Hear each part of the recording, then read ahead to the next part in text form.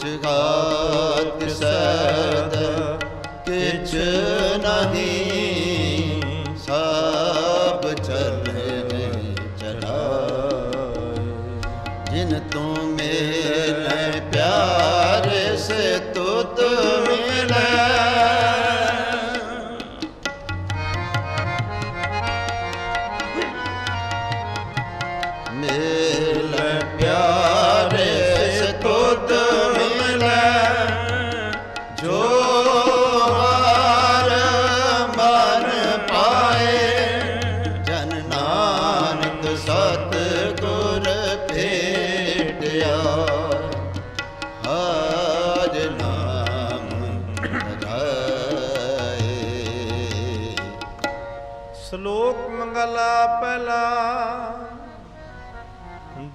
ਦਇਆ ਸੰਤੋਖ ਸੂਤ ਜਤ ਗੰਡੀ ਸਤ ਵਟ ਇਹੋ ਜਨਿਉ ਜੀ ਕਾ ਹੈ ਤਾਂ ਪੰਡ ਕਤ, ਨਾ ਟੁੱਟ ਨਾਮ ਲਗੈ, ਨਾ ਜਲ ਨ ਜਾਏ ਤਨ ਸੋ ਸਨਾਨ ਕਾ ਜੋ ਗਲ ਚਲੇ ਪਾਏ, ਚੌਂਕੜ ਮੁੱਲ ਆਇਆ, ਬੈ ਚੌਂਕ ਪਾਇਆ, ਸਿੱਖਾਂ ਕੋਲ ਚੜਾਈਆਂ ਗੁਰ ਤੇ ਆ ਹੋ ਮੁਆ ਚੜ ਪਿਆ। ਵੇ ਤਗ ਗਿਆ ਮਹੱਲਾ ਪਹਿਲਾ। ਲੱਖ ਚੋਰੀਆਂ, ਲੱਖ ਜਾਰੀਆਂ ਲੱਖ ਕੁੜੀਆਂ, ਲੱਖ ਗਾਲ, ਲੱਖ ਠਗੀਆਂ।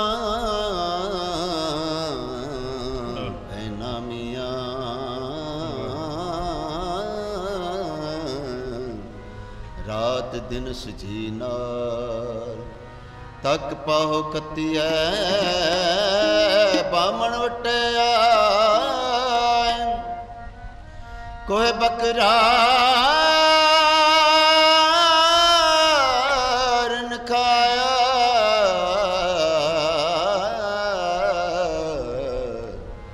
ਸਭ ਕੋ ਆਖੇ, ਪਾਏ ਹੋਏ ਪੁਰਾਣਾ ਸੁੱਟੀਏ ਵੀ ਫਿਰ ਪਾਈਏ ਹੋ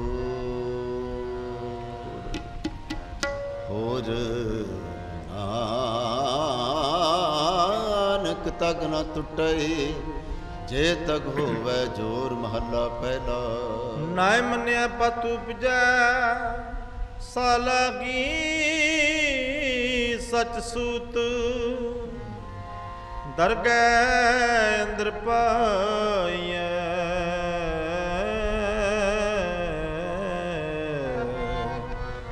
ਤਗਨਾ ਟੁੱਟ ਸਪੂਤ ਮਹੱਲਾ ਪਹਿਲਾ। ਤਗਨਾ ਨ ਇੰਦਰੀ, ਤਗ ਨਾਰੀ ਭਲਕੇ ਥੁੱਕ ਪਵੈ। ਨਿਤ ਦਾੜੀ, ਤਗ ਪੈਰੀ, ਤਗ ਨ ਤੀ ਤਗ ਨ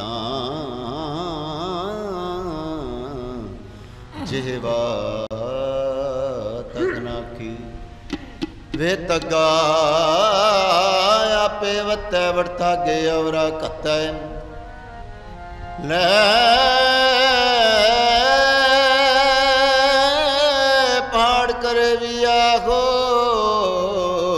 ਕੜਕਾਗਲ ਦਸੇਰਾ। ਸੁਣ ਵੇਖੋ ਲੋਕਾਂ ਇਹੋ ਵਿਡਾਨ। ਮਨ ਅੰਧਾ ਨਾਉ ਸੁਜਾਨ ਪਉ ਸਭ ਦਇਆਲ। ਕਿਰਪਾ ਕਰੇ ਤਾਂ ਸਾਈ ਕਰ ਕਰਾਏ ਸੀ। ਸੋ ਸੇਵ ਸੇਵਾ ਕਰੇ। ਜਿਸਨੋ ਹੁਕਮ ਮਨਾਏ ਸੀ ਹੁਕਮ ਨਵ ਪ੍ਰਵਾਨ। ਤਾ ਖਸਮੈ ਕਾਮਲ ਪਾਸੀ। ਕਸਮ ਪਵ ਸੋ ਕਰੇ। ਮਨੁ ਚਿੰਦਿਆ ਸੋ ਪਲ ਪਾਸੀ। ਤਾ ਦਰ ਗਏ ਪੈਂਦਾ ਜੈਸੀ ਪੈਂਦਾ ਜੈਸੀ ਪੈਂਦਾ ਜੈਸੀ। ਆਉਣੇ ਸਾਹਿਬ ਜਾਲ ਕਿਰਪਾ ਕਰੇ ਸਾਈ ਕਰ ਖਾਏ ਸੀ। ਸੋ ਸੇਵ ਸੇਵਾ ਕਰੇ ਜਿਸ ਨੂੰ ਹੁਕਮ ਨਾਏ ਸੀ।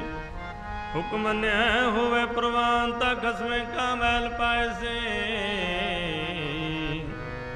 ਖਸਮੈ ਪਾਵੇ ਸੋ ਕਰੇ ਮਨੋ ਚਿੰਦਿਆ ਸੋ ਫਲ ਪਾਏ ਸੀ।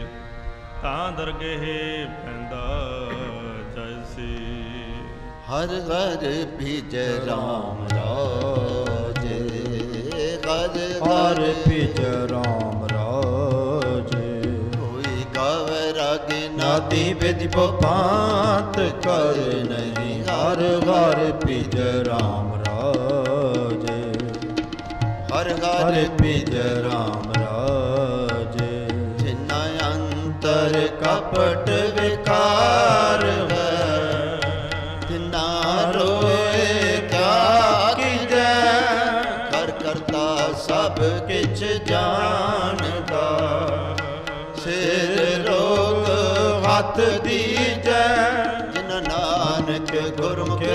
ਸ਼ੁੱਧ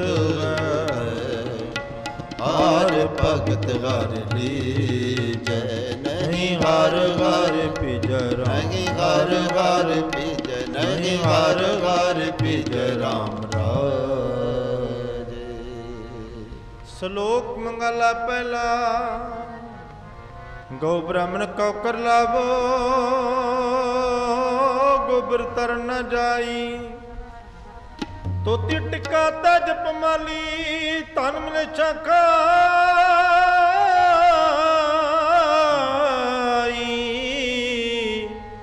ਤੋਤੀ ਟਿੱਕਾ ਤਾ ਜਪ ਮਾਲੀ ਤਨ ਮਿਲੇ ਚਕਾਈ ਅੰਤਰ ਪੂਜਾ ਪੜਿਕ ਤੇ ਬਾ ਸੰਜਮ ਤੁਰਕਾ ਪਾਈ ਛੋਡੀ ਲਿਪ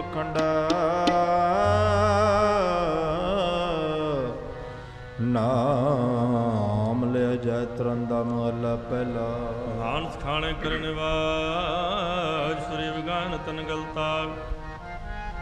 ਤੈਨ ਘਰ ਬ੍ਰਾਹਮਣ ਪੂਰੇ ਨਾਦ ਨਾ ਪਿਆ ਵਾ ਵਾਹ। ਊੜੀ ਰਾਸ ਕੂੜਾ ਵਪਾਰ ਊੜ ਬੋਲ ਕਨਿਆਰ। ਸ਼ਰਮ ਧਰਮ ਕਾ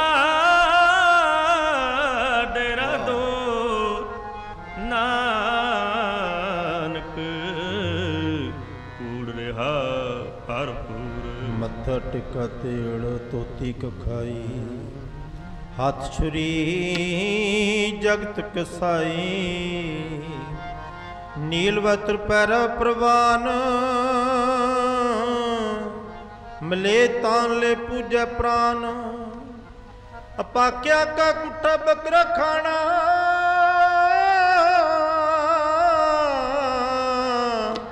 ਚੌਂਕੇ ਉੱਪਰ ਕਿਸੈ ਨਾ ਜਾਣਾ। ਦੇਖ ਚੌਂਕੇ ਕੱਢੀ ਕਾਰ ਉੱਪਰ ਆਏ ਬੈਠੇ ਕੁੜਿਆਰ। ਮਤ ਪਿਟੈ ਵੇ, ਮਤ ਪਿਟੈ ਇਹੋ ਅਨੋ ਸਾਡਾ ਪਿਟੈ ਧਨ ਫਿਟੈ ਫੇੜ ਕਰੇਨ ਮਨ ਜੁਠੈ ਚੁਲੀ ਭਰੇਨ ਕਹੋ ਨਾਨਕ ਸੱਚ ਆਈਐ। ਸੁਚ ਹੋਵੇ ਤਾਂ ਸੱਚ ਪਾਈਏ ਪੌੜੀ ਚਿਤੈ ਅੰਦਰ ਸਭ ਕੋ। ਇਕ ਨਦਰੀ ਹੇਠ ਚਲਾਉਂਦਾ ਆਪੇ ਦੇ ਵਡਿਆਈਆਂ।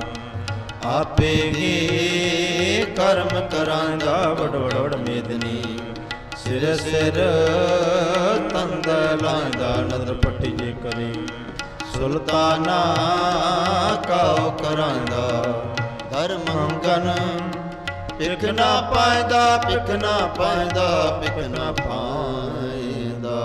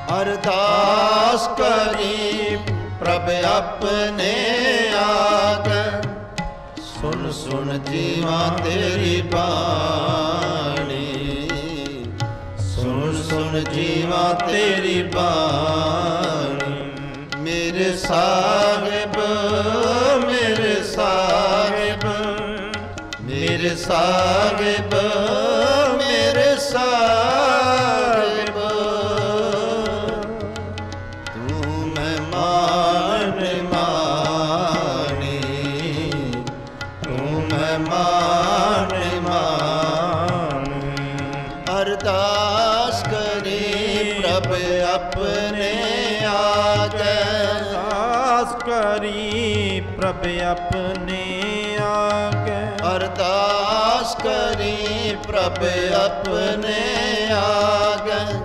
ਸੁਣ ਸੁਣ ਜੀਵਾ ਤੇਰੀ ਬਾਣੀ। ਸੁਣ ਸੁਣ ਜੀਵਾ ਤੇਰੀ ਬਾਣੀ। ਮੇਰੇ ਸਾਹਿਬ ਮੇਰੇ ਸਾਹਿਬ ਮੇਰੇ ਸਾਹਿਬ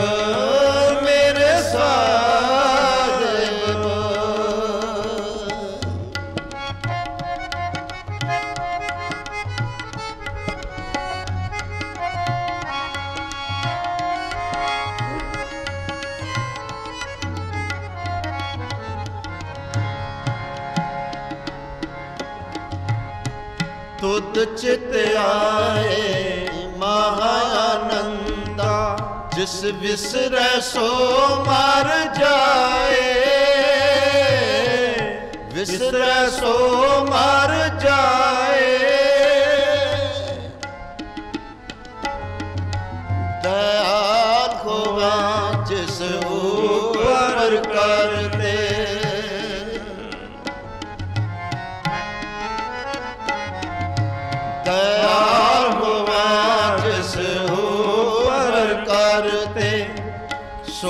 ਸੋ ਤੁਧ ਸਦਾ ਧਿਆਏ ਸੋ ਤੁਧ ਸਦਾ ਧਿਆਏ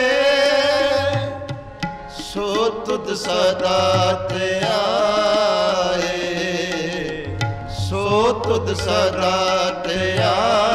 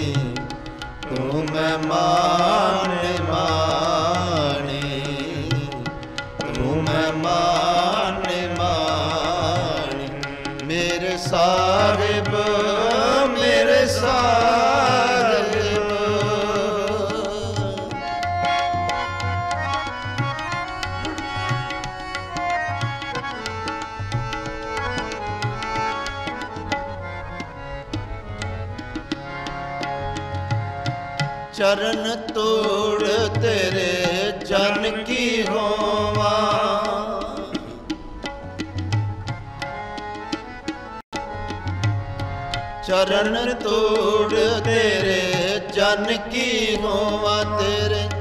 ਦਰਸ਼ਨ ਕੋ ਬਲ ਜਾਈ, ਦਰਸ਼ਨ ਕੋ ਬਲ ਜਾਈ।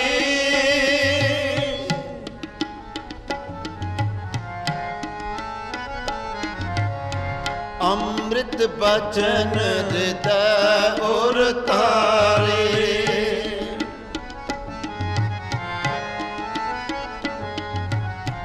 ਅੰਮ੍ਰਿਤ ਬਚਨ ਹਿਰਦੈ ਔਰ ਤਾਰੀ ਤੋ ਕਿਰਪਾ ਤੇ ਸੰਗ ਪਾਈ। ਕਿਰਪਾ ਤੇ ਸੰਗ ਪਾਈ। ਕਿਰਪਾ ਤੇ ਸੰਗ ਪਾਈ। ਤੋ ਕਿਰਪਾ ਤੇ ਸੰਗ ਪਾਈ। ਮੇਰੇ ਸਾਹਿਬ ਸਾਹਿਬ ਮੇਰੇ ਸਾਹਿਬ ਤੂੰ ਮਹਿਮਾਨ ਮਾਣੀ ਤੂੰ ਮਹਿਮਾਨ ਮਾਣੀ। ਅਰਦਾਸ ਕਰੀ ਪ੍ਰਭ ਆਪਣੇ ਆਗੇ, ਅਰਦਾਸ ਕਰੀ ਪ੍ਰਭ ਆਪਣੇ ਪ੍ਰਭ ਆਪਣੇ ਆਗੇ ਅਰਦਾਸ ਕਰੀ, ਪ੍ਰਭ ਆਪਣੇ ਆਗੇ। ਸੁਣ ਸੁਣ ਜੀਵਾ ਤੇਰੀ ਬਾਣੀ।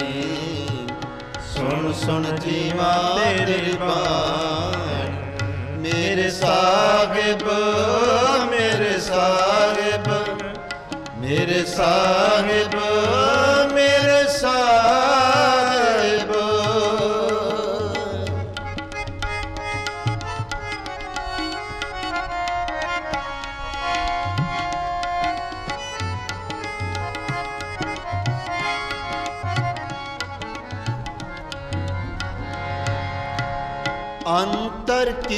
ਕੀ ਗਤ ਤੁਧ ਪੈ ਸਾਰੀ।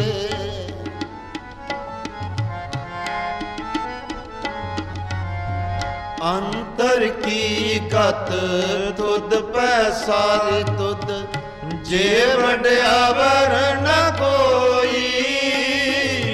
ਤੁਧ ਜੇ ਵਡਿਆਵਰ ਨ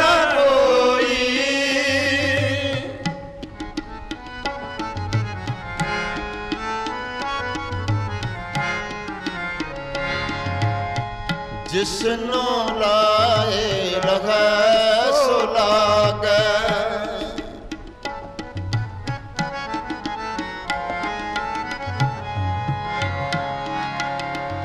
ਜਿਸਨੂੰ ਲਾਏ ਲਗੈ ਸੋ ਲਾਗੈ। ਭਗਤ ਤੁਗਾਰਾ ਸੋਈ। ਭਗਤ ਤੁਗਾਰਾ ਸੋਈ। ਭਗਤ ਤੁਗਾਰਾ ਸੋਈ ਭਗਤ ਤੁਗਾਰਾ ਸੋਈ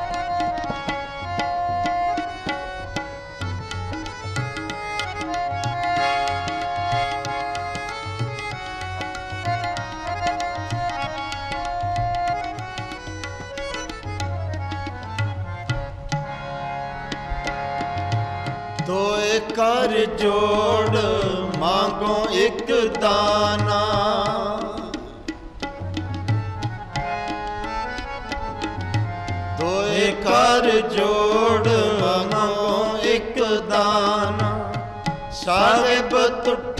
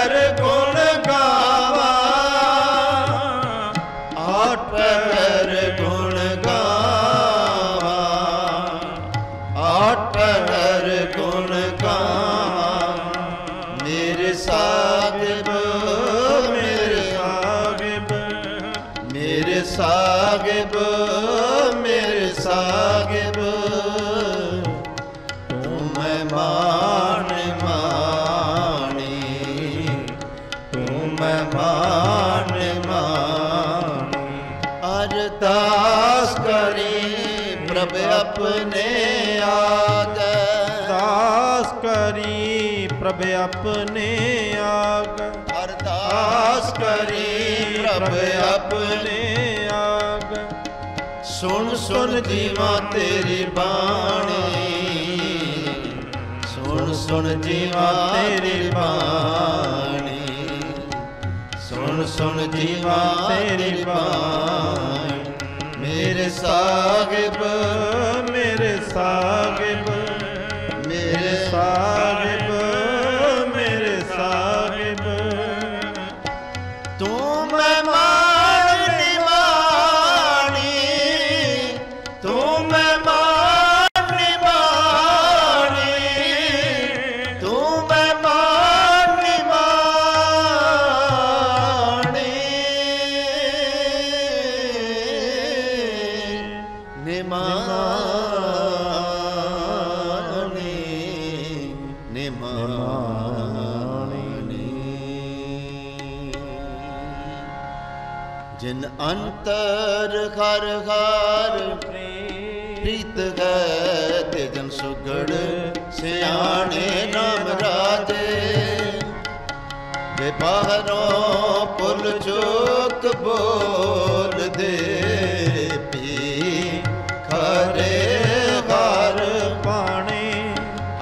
ਸੰਤਾਨ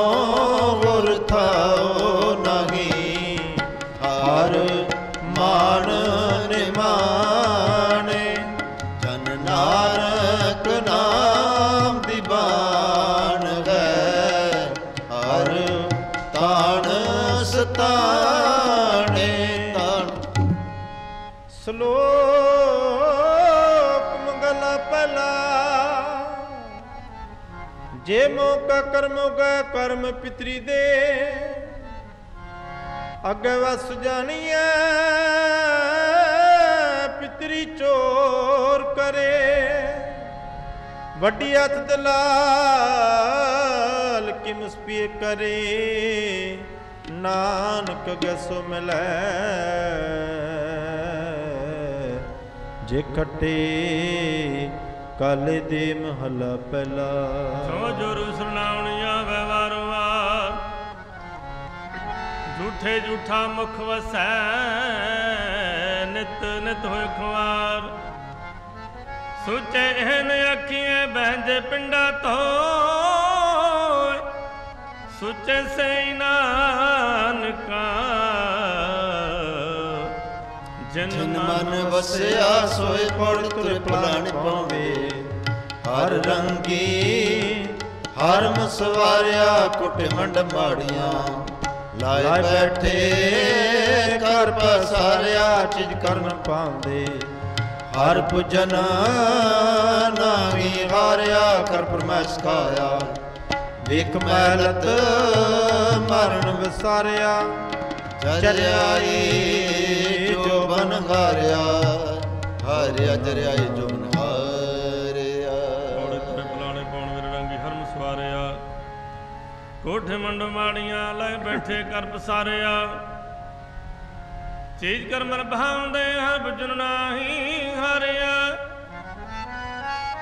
ਕਰ ਫਰਮਾਇਸ਼ ਖਾਇਆ ਵੇਖ ਮਹਿਲ ਤੇ ਮਰਨ ਵਿਸਾਰਿਆ।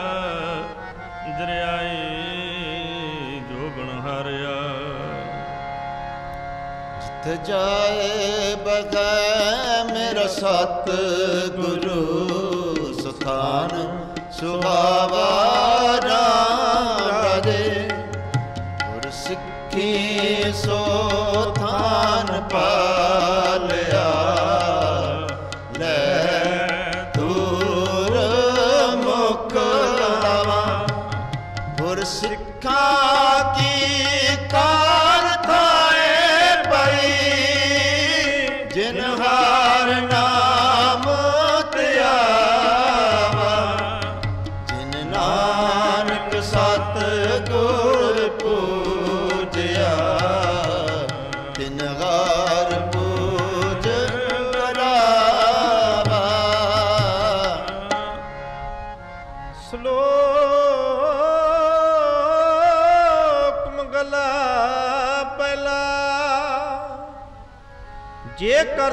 ਸੁਤਕ ਸਭ ਤੈ ਸੂਤ ਗੋਏ।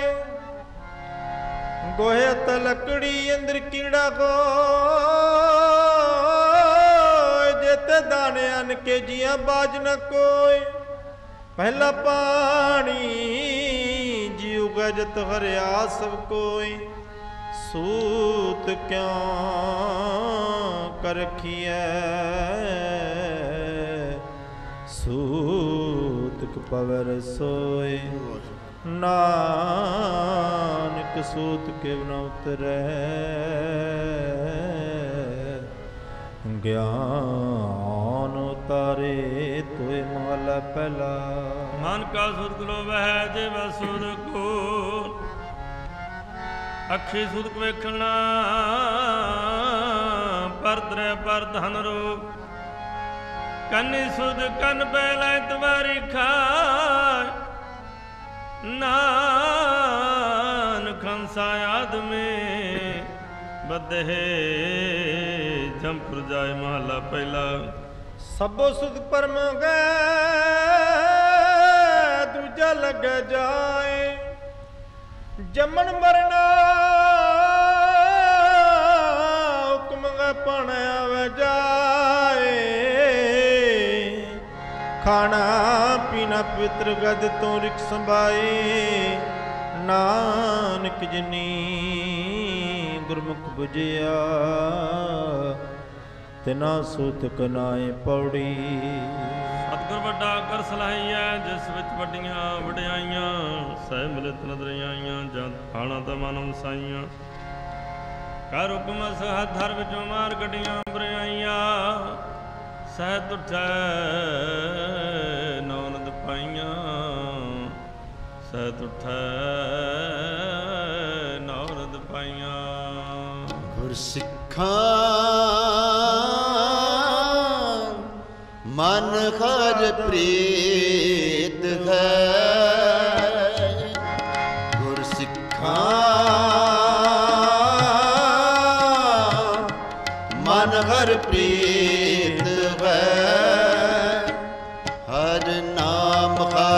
ਤੇਰੀ RAM ਰਾਜੇ ਕਰ ਸੇਵੈ ਪੂਰਾ ਸਤ ਗੁਰੂ ਭੁਖ ਜਾਏ ਤੇਰੀ ਗੁਰ ਸਿੱਖਾਂ ਦੀ ਭੁਖ ਸਭ ਗਈ ਤਿਨ ਪਿਛੈ ਹੋਰ ਖਾਏ ਕਨੇਰੇ। ਜਨ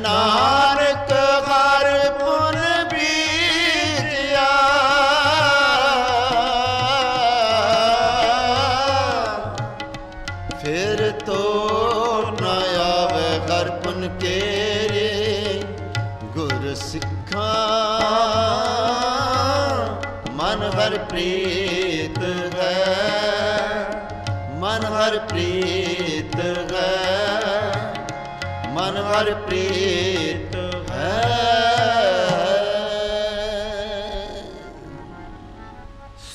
ਸ਼ਲੋਕ ਮਗਲਾ ਪਹਿਲਾ ਪਹਿਲਾ ਸੁੱਚਾ ਪਗੋਏ ਸੁੱਚਾ ਬੈਠਾ ਆਏ ਸੁੱਚਾ ਕਰ ਕਿਉਂ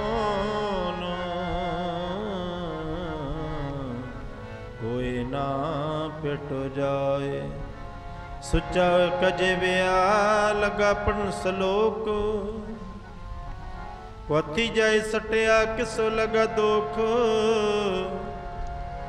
ਅਨ ਦੇਵਤਾ ਪਾਣੀ ਦੇਵਤਾ ਬਸੰਤਰ ਦੇਵਤਾ ਲੂਨ ਪੰਜਵਾ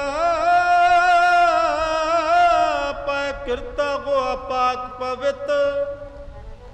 ਪਾਪੀ ਸਿਓ ਤਨ ਗੱਡਿਆ ਤੁਕਾ ਪਈਆਂ ਤਿਤ, ਜਿਤ ਮੁਖ ਨਾਮ ਨਾ ਉਚਰੈ। ਜਿਤ ਮੁਖ ਨਾਮ ਨਾ ਉਚਰੈ, ਬਿਨ ਨਾਮ ਰਸ ਖਾਏ ਨਾਨਕ ਵਜਾਣੀਐ, ਤਿਤ ਮੁਖ ਤੁਕਾ ਪਾਏ ਮਹਲਾ ਪਹਿਲਾ। ਭੰਡ ਜਮੀਏ ਭੰਡ ਨਿਮੀਏ ਭੰਡ ਮੰਗਣ ਜੀ ਆਖੋ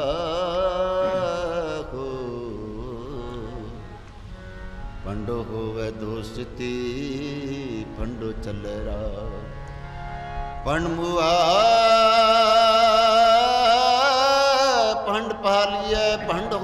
ਬੰਧਾਨ। ਸੋ ਕਿਉ ਮੰਦਾ ਕੀਏ ਜਿਤ ਜਮੈ ਰਾਜਾਨ ਪੰਡੋਂ ਹੀ ਪੰਡ ਉਪਜੈ, ਪੰਡੇ ਬਾਜ ਨ ਕੋ ਨਾਨਕ ਪੰਡੇ ਬਹਰਾ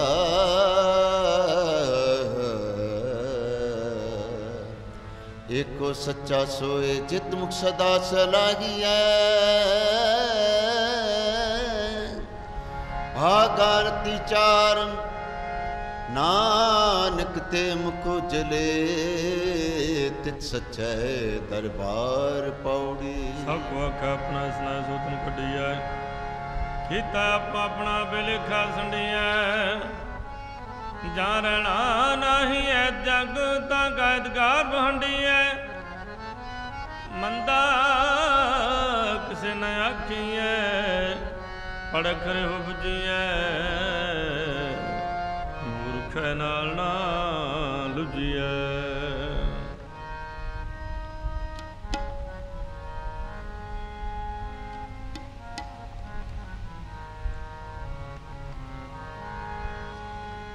ਮਹਿਮਾ ਕਹੀ ਨਾ ਜਾਏ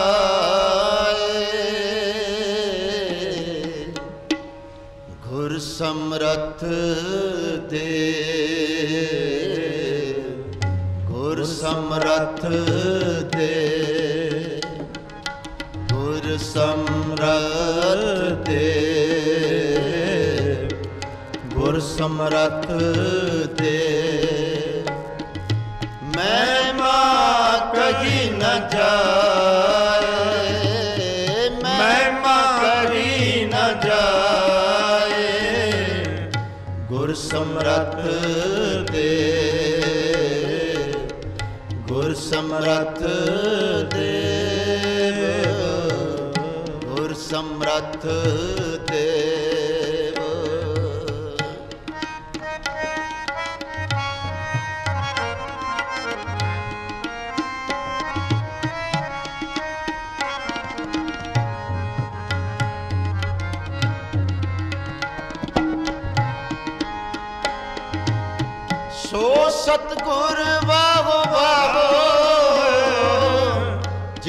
ਪਰਮ ਗੜ ਤੋੜਿਆ।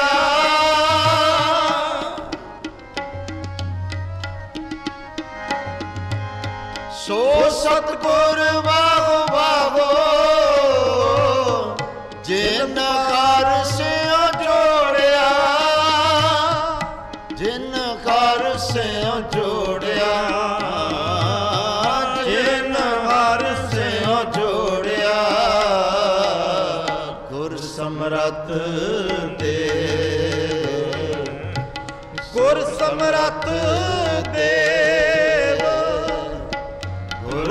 ਸਮਰੱਥ ਦੇ ਗੁਰ ਸਮਰੱਥ ਦੇ ਮਹਿਮਾ ਕਹੀ ਨ ਜਾਏ। ਮਹਿਮਾ ਕਹੀ ਨਾ ਜਾਏ। ਗੁਰ ਗੁਰ ਸਮਰੱਥ ਦੇ ਗੁਰ ਸਮਰੱਥ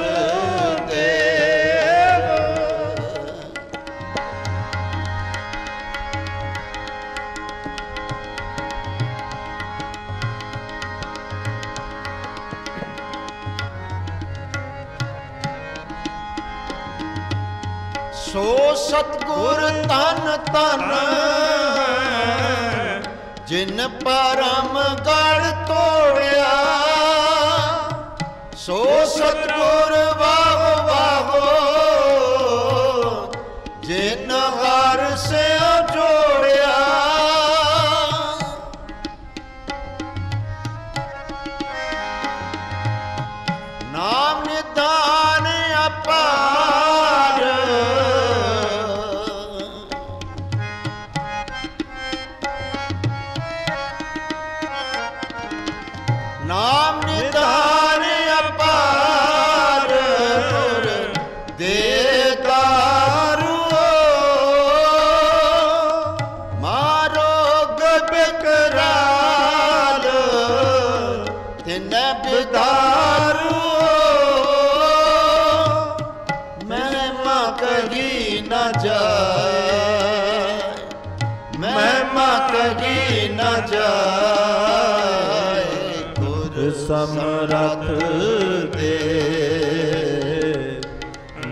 ਸਮਰਥ ਦੇ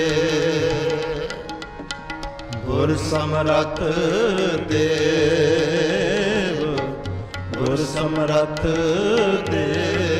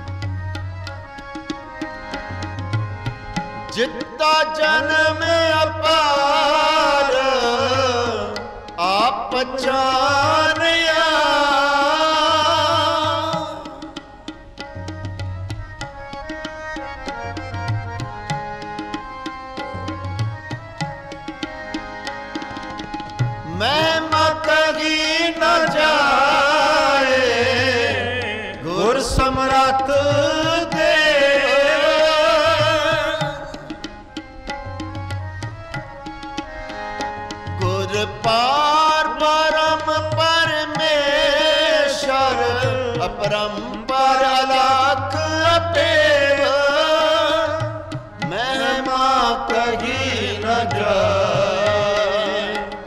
ਮਹਿਮਾ ਕਹੀ ਨ ਜਾਏ ਗੁਰ ਸਮਰਥ ਦੇਵ। ਗੁਰ ਸਮਰਥ ਦੇਵ। ਗੁਰ ਸਮਰਥ ਦੇਵ। ਗੁਰ ਸਮਰਥ ਦੇ ਮਹਿਮਾ ਕਹੀ ਨ ਜਾਏ। ਮਹਿਮਾ ਕਹੀ ਨ ਜਾਏ ਗੁਰ ਸਮਰਥ ਦੇ ਗੁਰ ਸਮਰਥ ਦੇ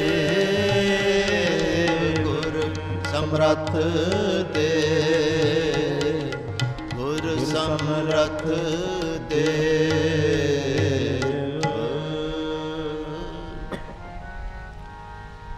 ਵਧਾਈਆਂ ਵਧਾਈਆਂ ਵਧਾਈਆਂ। ਵਧਾਈਆਂ ਵਧਾਈਆਂ ਵਧਾਈਆਂ।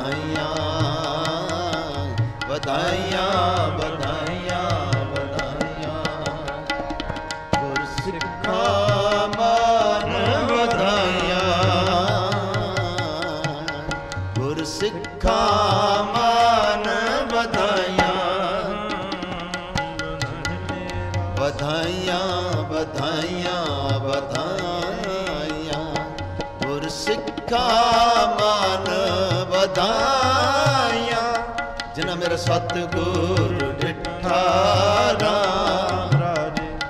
ਕੋਈ ਕਰ ਗਲ ਸੁਣਾਵੇ ਵਰ ਨਾਮ ਕੀ? ਸੋ ਲੱਗੈ ਗੁਰ ਸਿੱਖਾਂ ਮਨ ਮਿਠਾ। ਹਰ ਤਰ ਕੈ ਗੁਰ ਸਿੱਖ ਪੈ ਸਤਿਗੁਰ ਸਤਿਗੁਰ ਤੁਠਾ ਜਨ ਨਾਨਕ ਹਰ ਘਰ ਹੋਇਆ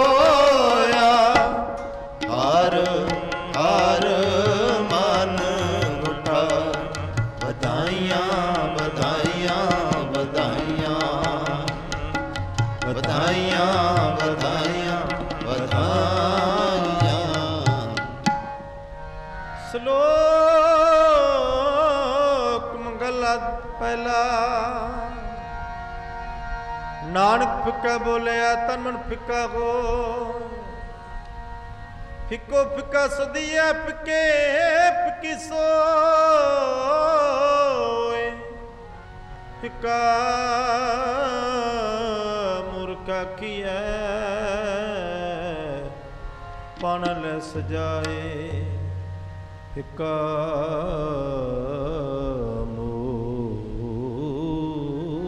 ਮੂਰਖ ਪਨ ਲੈ ਸਜਾਏ ਮਹਲਾ ਪਹਿਲਾ। ਅੰਦਰੋਂ ਝੂਠੇ ਪੈਜ ਬਾਹਰ ਦੁਨੀਆ ਅੰਦਰ ਫੈਲ। 68 ਤੀਰਤ ਜੇ ਨਾਵੇ ਉਤਰੇ ਨਾਹੀ ਮੈਲ ਜਿਨ ਪਟ ਅੰਦਰ ਬਾਹਰ ਗੁੱਦੜ ਤੇ ਭਲੇ ਸੰਸਾਰ ਤਿਨ ਨੇ ਹੋ ਲੱਗਾ ਰਬ ਸਿੱਧੇ ਤੇ ਦੇਖਨੇ ਵਿਚਾਰ ਰੰਗ ਸੈ। ਰੰਗ ਰੋਵੇ, ਚੁੱਪੀ ਕਰ ਜਾਏ। ਪਰਵਾਹ ਨਾਈ ਕਿਸੈ ਕੇਰੀ ਬਾਤ ਸੱਚੇ ਨਾਈ। ਦਰਬਾਰ ਪਰ ਖਰਚ ਮੰਗਾ ਜਵੈ ਦੇਤਾ ਖਾਏ दीवाने को कर्मे का गमा तुम मेल धर ले लिखा पीड़ छुटे ਨਾਨਕਾ ਜਿਉ ਤੇਲ ਪੌੜੀ ਆਪੇ ਹੀ ਕਰਨਾ ਕੀਓ ਗਲਾ ਆਪੇ ਹੀ ਤਤ ਹਰੀਐ ਦੇਖਿਆ ਕਿ ਤਾਪਣਾ ਹਰ ਕੱਚੀ ਪੱਕੀ ਸਾਰੀ ਐ ਜੋ ਆਇਆ ਸੋ ਚੱਲ ਸੀ ਸੋ ਕਮਾਈ ਵਾਰੀ ਹੈ। ਜਿਸ ਕੇ ਜੀ ਪ੍ਰਾਣ ਹੈ ਗੋਸਾਇ ਮਨੋ ਵਿਸਾਰੀ ਐ ਆਪਣ ਹੱਥੀ ਆਪਣਾ,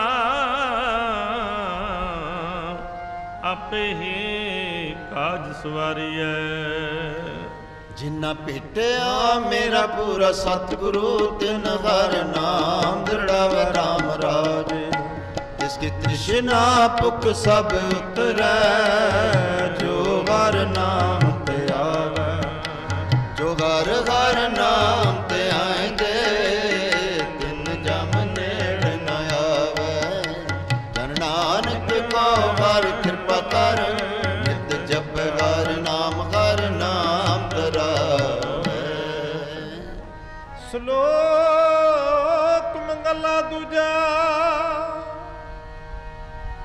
ਏਕ ਨੇ ਆਸ ਕੀ ਦੂਜਾ ਲਗ ਜਾਏ।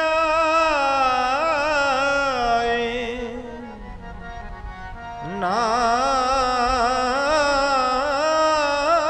ਕਸ ਕੰਡਿਆ ਸਦਗਿਰ ਸਮਾਏ ਚੰਗਾ ਚੰਗਾ ਕਰਮ ਨੇ ਮੰਦਾ ਮੰਦਾ ਹੋਏ। ਆਸ ਕਿਉ ਨਾ ਆਖੀਐ? ਜੇ ਲਿਖੈ ਵਰਤੈ ਸੋਈ ਮਹਲਾ ਦੂਜਾ। ਸਲਾਮ ਜਵਾਬ ਦੋਵੇਂ ਕਰੇ।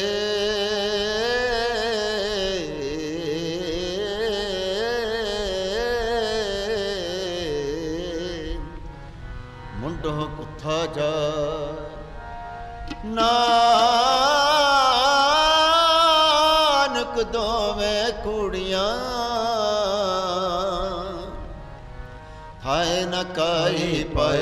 ਜਿਸ ਸੁਪਾਈਆ ਸੋ ਸਾਹਿਬ ਸਦਾ ਸੰਭਾਲੀਤ ਕਿਤ ਪਈ ਆਪਣਾ। ਸਾਕਾਲ ਬੁਰੀ ਕਿਉ ਕਲਿਐ ਮੰਦਮੁ ਨ ਕੀਜੇ। ਦੇ ਲੰਮੀ ਨਦਰ ਨਿਵਾਲੀ ਜੋ ਸਭ ਨਾਲ ਹਾਰੀਐ। ਦੇਵੇਗਾ ਪਾਸਾ ਢਲਿਐ। ਕਿਛ ਲਾਗੇ ਉਪਰ ਕਰਿਐ ਉਪਰ ਕਰਿਐ ਕਾਲਿਐ ਸਾਹਿਬ ਸਾ ਸੰਭਾਲੀਐ ਜਿਤ ਕੀਤਾ ਪਈ ਆਪਣਾ ਸਾਘਾਲ ਬੁਰੀ ਕਿਉ ਕਾਲੀਐ। ਮੰਦਾ ਬੋਲਣਾ ਕਿਛੇ ਦੇ ਲੰਮੇ ਨਦਰਨ ਹਾਲੀਐ ਜੋ ਸਾਹਿਬ ਨਾਲ ਨਹਾਰੀਐ, ਤੇ ਵੇਹ ਪਸਾ ਢਾਲੀਐ ਖਲਾਹੇ ਉਪਰ ਘਾਲੀਐ ਜਿਨ ਗੁਰਮੁਖ ਨਾਮ ਧਿਆਇਆ ਨਾ ਫਿਰ ਬਿਗਨ ਨਾ ਹੋਈ RAM ਰਾਜੇ।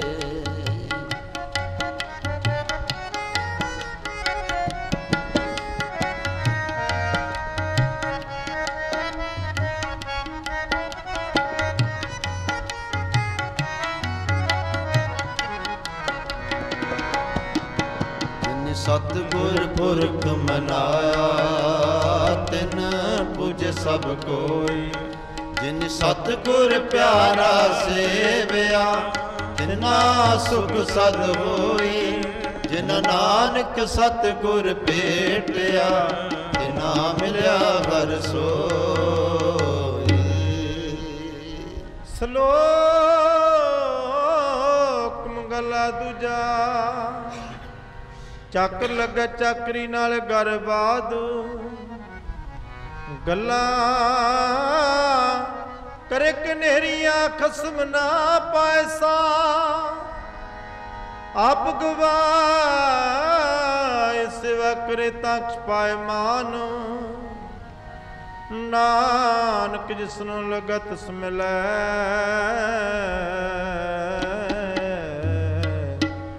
ਲਗਾ ਸੋ ਪ੍ਰਵਾਨ ਜੋ ਜਿਉ ਸੁਖ ਮੁਕਾ ਕਹਿਆ ਬਿਖ ਮੰਗੈ ਅੰਮ੍ਰਿਤ। ਵੇਖੋ ਉਨਿਆ ਮਹਲਾ ਦੂਜਾ। ਨਾਲ ਆਣੇ ਦੋਸਤੀ ਕਦੇ ਨਾ ਆਵੇ ਰਾਸ। ਜਿਹਾ ਜਾਣੇ ਤੇ ਹੋ ਵਰਤੈ ਵੇਖੋ ਕੋ ਨਿਰਜਾਸ। ਵਸਤੂ ਅੰਦਰ ਵਸਮ ਆਵੇ, ਦੂਜੀ ਹੋਵੇ ਪਾਸ। ਸਾਹਿਬ ਸੇਤੀ ਹੁਕਮ ਨਾ ਚੱਲੇ ਕਈ ਬਣੇ ਅਰਦਾਸ। ਕੂੜ ਕਮਾਣੇ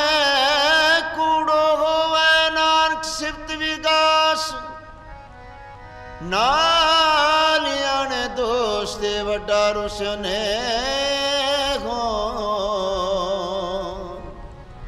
ਪਾਣੀ ਅੰਦਰ ਲਿਖ ਜਿਉ।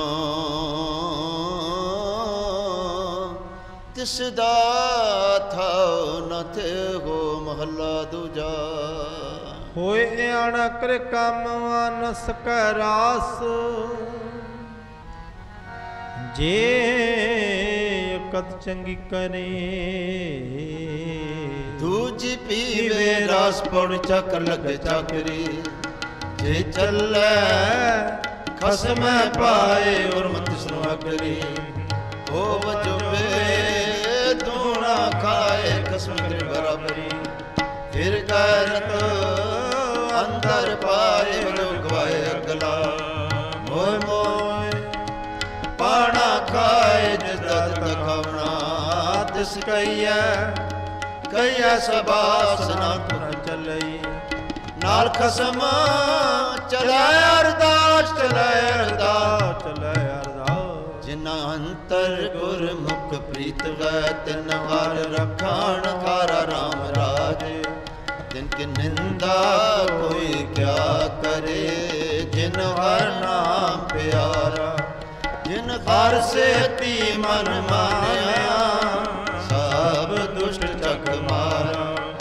ਜਨ ਨਾਨਕ ਨਾਮ ਤੇ ਹਰ ਰੱਖਣ ਹਾਰਾ ਰੱਖਣ ਹਾਰਾ ਸ਼ਲੋਕ ਮੰਗਲਾ ਦੂਜਾ। ਇੱਕ ਨਹੀਂ ਦਾਤ ਆਪਸ ਤੇ ਜੋ ਪਾਈਐ। ਨਾਨਕ ਸ਼ਕਰਮਾ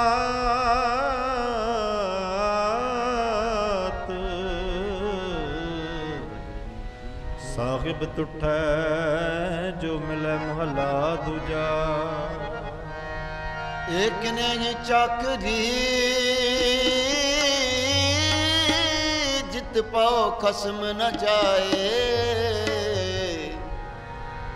ਨਾਨਕ ਸੇਵਕਾਂ ਢੀਐ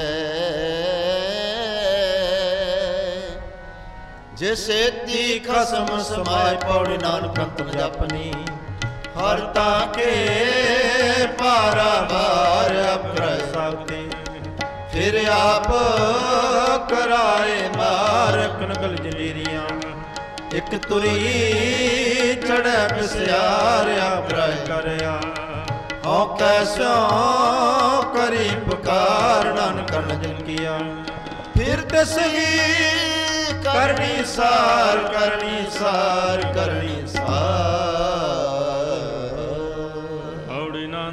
ਆਪਣੇ ਅੰਤ ਕੇ ਬਾਰ ਬਾਰ ਆਪ ਕਰਾਇ ਸਕਤੇ ਭ੍ਰਮ ਕਰਾਇ ਮਾਰ। ਇਕ ਨਾ ਗਲੇ ਜੰਜੇਰੀਆ ਇਕ ਬ੍ਰਿਜੜੇ ਬਿਸੀਆਰ ਆਪ ਕਰਾਇ ਕਰਿਆ ਬਹੁ ਕੈਸੋ ਕਰਿ ਪੁਕਾਰ। ਨਾਨਕ ਕਰਣਾ ਜਨ ਕੀਆ ਫਿਰ ਤਸਹਿ ਕਰਨੇ ਸਾਰ। ਹਰ ਜੁਗ ਜੁਗ ਭਗਤ ਪਾਇਆ ਪੈਜ ਰੱਖਦਾ ਆਇਆ ਰਾਮ ਰਾਜ ਹਰਨਾ ਕਿਛ ਦੁਸ਼ਟ ਵਾਰ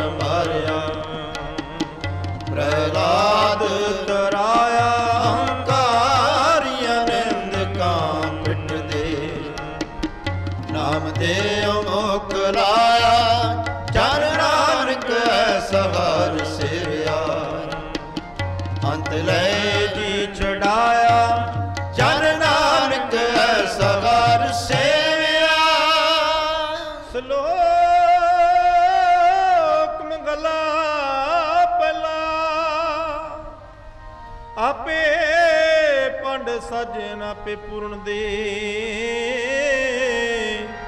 ਇਕ ਨੀ ਦੁੱਧ ਸਮਾਇ ਇਕ ਚੁੱਲੈ ਰਨ ਚੜੇ ਇਕ ਨਿਹਾਲੀ ਪਸਮਨ, ਇਕ ਉੱਪਰ ਰਨ ਖੜੇ ਨਾ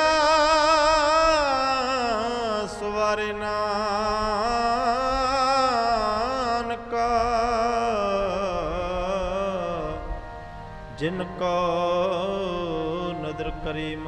ਦੂਜਾ। ਆਪੇ ਸਾਜੇ ਕਰੇ ਆਪ ਜਾਈ ਪ੍ਰਖਿਆ। ਤਿਸ ਵਿਜਨ ਤੋਂ ਪਾਏ ਕੈ ਦੇਖੈ ਥਪੁੱਥਾ ਕਿਸਨੋ ਕਹੀਐ ਨਾਨਕਾ। ਸਭ ਕਿਛ ਆਪੇ ਆਪ ਪੌੜੀ ਵੱਡੇ ਕੀਆਂ ਵਡਿਆਈਆਂ। ਕਿਛ ਕਹਿਣਾ ਕਹਿ ਨ ਜਾਏ ਸੁਖ ਕਦਰ ਕਰੀ। ਦੇ ਜੀਆਂ ਰਿਜਕ ਸੰਭਾਏ ਸਾਈ ਕਰ ਕਮਾਵਣੀ ਤੁਰ ਛੋਟੀ। ਤਿਨੈ ਪਾਏ ਨਾਨਕ ਕੀ ਬਾਰੀ ਹੋ ਦੂਜੀ। ਨਾਹੀ ਜਾਏ, ਸੋ ਕਰ ਜੇ। ਤਿਸੈ ਰਜਾਇ ਰਜਾਇ ਰਜਾਇ ਛੁਟ। ਵਾਹਿਗੁਰੂ ਜੀ ਕਾ ਖਾਲਸਾ, ਵਾਹਿਗੁਰੂ ਜੀ ਕੀ ਫਤਿਹ। ਵਾਹਿਗੁਰੂ ਜੀ ਕਾ ਖਾਲਸਾ ਵਾਹਿਗੁਰੂ ਜੀ ਕੀ ਫਤਿਹ ਵਾਹਿਗੁਰੂ ਜੀ ਕੀ ਫਤਿਹ ਵਾਹਿਗੁਰੂ ਜੀ ਕੀ ਫਤਿਹ। ਵਾਹਿਗੁਰੂ ਜੀ ਕਾ ਖਾਲਸਾ ਵਾਹਿਗੁਰੂ ਜੀ ਕੀ ਫਤਿਹ। ਔੜੇ ਵੱਡੇ ਕਿਆਂ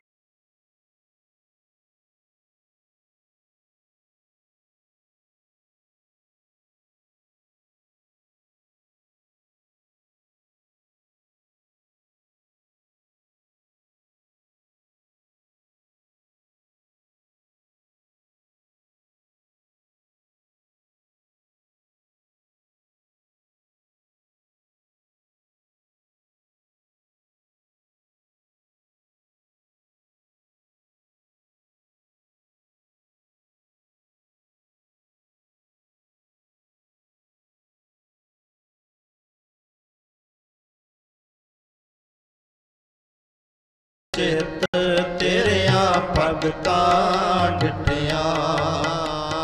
ਆਵੈ ਸਾਹਿਬ ਚਿਤ ਤੇਰਿਆਂ ਭਗਤਾਂ ਡਿਟਿਆ। ਮਨ ਕੀ ਕਟਿਐ ਮੈਂ ਸਾਰ ਸੰਗ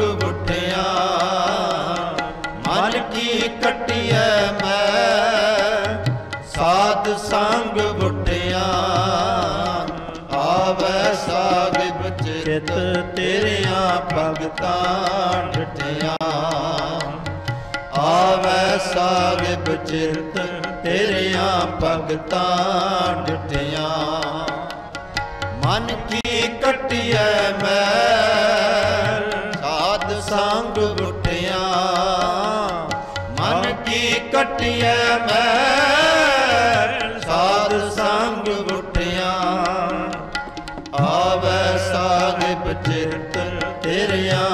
ਭਗਤਾਂ ਡਟਿਆ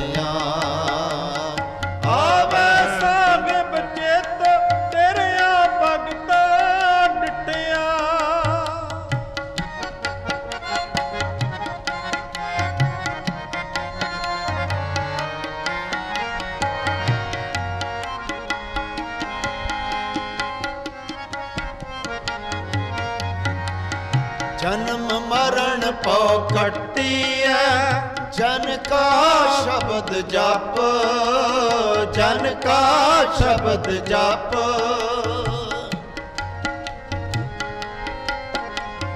ਬੰਧਨ ਖੋਲਨ ਸੰਤ, ਦੂਤ ਸਭ ਜਾਏ ਛਾਪ, ਦੂਤ ਸਭ ਜਾਏ ਛਾਪ।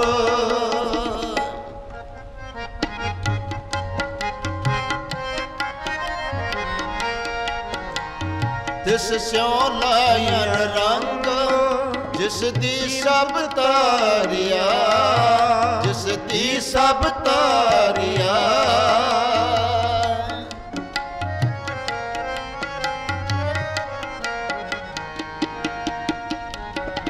ਉੱਚੀ ਹੋ ਉੱਚਾ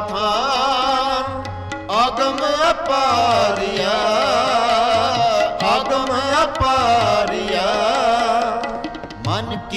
ਕਟਿਐ ਮੈਂ। ਸਾਧ ਸੰਗ ਬੁੱਠਿਆ ਮਨ ਕੀ ਕਟਿਐ ਮੈਂ।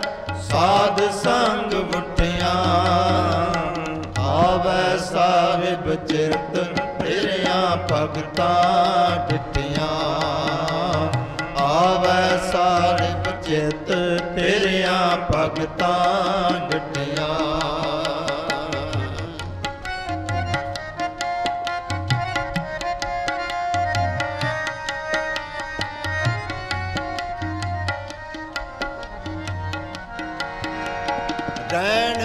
ਰੈਣ ਕਰ ਜੋੜ, ਸਾਸ ਸਾਸ ਧਿਆਈਐ।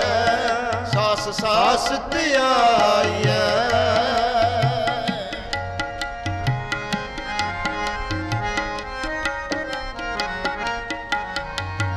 ਰੈਣ ਦਿਨਸ ਕਰ ਜੋੜ, ਸਾਸ ਸਾਸ ਧਿਆਈਐ। ਸਾਸ ਸਾਸ ਧਿਆਈਐ। ਕਿਰਪਾਲ ਤਾਂ ਭਗਤ ਸੰਗ ਪਾਈਐ। ਤਾਂ ਭਗਤ ਸੰਗ ਪਾਈਐ। ਮਨ ਕੀ ਕਟਿਐ ਮੈਂ?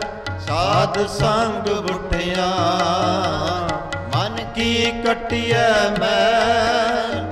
ਸਾਧ ਸੰਗ ਬੁੱਠਿਆ ਆਵੈ ਸਰਬ ਚਿਤ, ਤੇਰਿਆਂ ਭਗਤਾਂ ਡਟਿਆ ਆਵੈ ਸਰਬ ਚਿਤ ਤੇਰਿਆਂ ਭਗਤਾਂ ਡਟਿਆ ਆਵੈ ਸਾਹਿਬ ਚਿਤ ਤੇਰਿਆਂ ਭਗਤਾਂ ਡਟਿਆਂ ਮਨ ਕੀ ਕਟਿਐ ਮੈਂ, ਸਾਧ ਸੰਗ ਉਠਿਆ। ਮਨ ਕੀ ਕਟਿਐ ਮੈਂ, ਸਾਧ ਸੰਗ ਉਠਿਆ। ਆਵੈ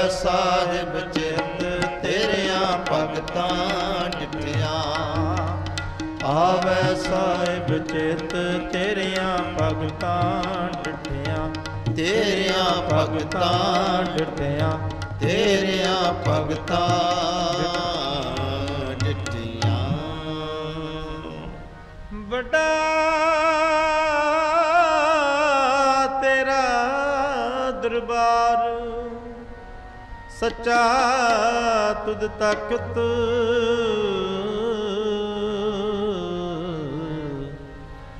ਸਿਰਸ਼ਾਵਾਂ ਪਾਤਸ਼ਾਹ, ਨੇਚਲ ਚੌਰ ਛਤ। ਹੋੜੀ ਵੱਡੀ ਵੱਡਾ ਪਾਰ ਤੇਰਾ ਮਰਤਬਾ, ਰੰਗ ਪ੍ਰੰਗ ਅਨੇਕ ਜਪ ਕਰਤਬਾ। ਜੀਆ ਅੰਦਰ ਜੀਉ ਸਭ ਜਾਣਾ ਸਭ ਤੇਰਾ ਵਾਸ ਤੇਰਾ ਕਰਪਲਾ ਤੇਰੇ ਕਰ ਆਨੰਦ ਵਧਾਈ ਤੁਧ ਕਰ ਮਾਨ ਮਤ ਤੇਰਾ ਆਪਣਾ ਆਪ ਜਰ। ਸਰਬ ਕਲਾ ਭਰਪੂਰ ਦਿਸੈ ਜਤਕਤਾ ਨਾਨਕ ਦਾਸਨ ਦਾਸ ਆਗੇ ਬਿਨਵਤਾ। ਤੇਰਾ ਤੇਰਾ ਨਾਮ ਸਤ ਹੈ। ਵੱਡ ਵੱਡਾ ਪਾਰ ਤੇਰਾ ਮਰਤਬਾ ਰੰਗ ਪਰੰਗਾ ਅਨੇਕ ਨਾ ਜਪਨ ਕਰਤਬਾ ਜੀਆਂ ਅੰਦਰ ਜੀਓ, ਸਭ ਸਜਾਨ ਲਾ ਸਭ ਕਿਸ ਤੇਰੇ ਵਸ ਤੇਰਾ ਕਰਪਲਾ। ਤੇਰੇ ਘਰ ਆਨੰਦ ਵਿਧਾਇ, ਤੁਧ ਕਰ ਮਾਨ ਮਾਤਾ ਤੇ ਆਪਣਾ ਆਪ ਜਰ। ਸਰਬ ਕਲਾ ਭਰਪੂਰ ਦੀ ਸਹਿਜਤ ਕਤਾ ਨਾਨਕ ਦਾਸਨ ਦਾਸ ਉਦਿਆਗੈ ਬਿਨਵਤਾ ਸਲੋ ਪਵਨ ਗੁਰੂ ਪਾਣੀ ਪਿਤਾ ਮਾਤਾ ਤਰਤ ਮਗਤ ਦਿਵਸ ਰਾਤ ਦਾਈ ਦਾਇਆ ਕਿਲ ਸਗਲ ਜਗਤ। ਚੰਗਿਆਈਆਂ, ਬੁਰਿਆਈਆਂ, ਵਾਚ ਧਰਮ ਹਦੂਰ। ਕਰਮੀ ਆਪੋ ਆਪਣੀ ਕੇ ਨੇੜੇ, ਕੇ ਦੂਰ। ਜਿਨੀ ਨਾਮ ਤੇ ਆਇਆ ਗਏ ਮਸ਼ਕਤ ਕਾਲ। ਨਾਨਕ ਤੇ ਮੁਖ ਉਜਲੇ ਕੀਤੀ ਛੁੱਟੀ ਨਾ। ਵਾਹਿਗੁਰੂ ਜੀ ਕਾ ਖਾਲਸਾ, ਵਾਹਿਗੁਰੂ ਜੀ ਕੀ ਫਤਿਹ। ਵਾਹਿਗੁਰੂ ਸਾਹਿਬ ਜੀ।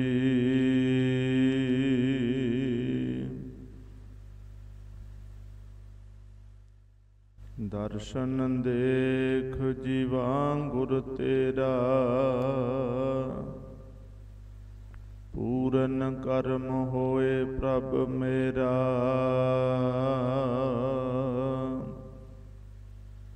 ਇਹ ਬੇਨੰਤੀ ਸੁਣ ਪ੍ਰਭ ਮੇਰੇ।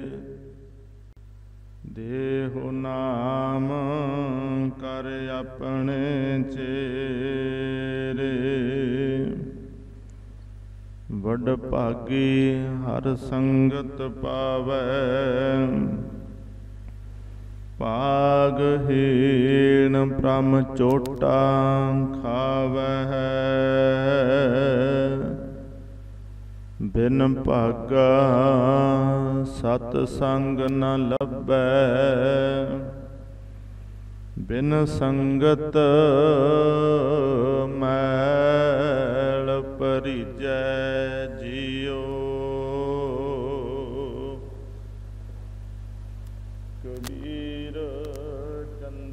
ਕਾ ਬਿਰਵਾ ਭਲਾ।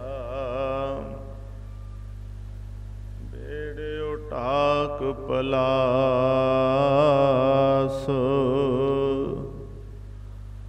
ਓਏ ਪੀ ਚੰਦਨ ਹੋਏ ਰਹੈ। ਬਸੈ ਜੋ ਚੰਦਨ ਪਾਸ।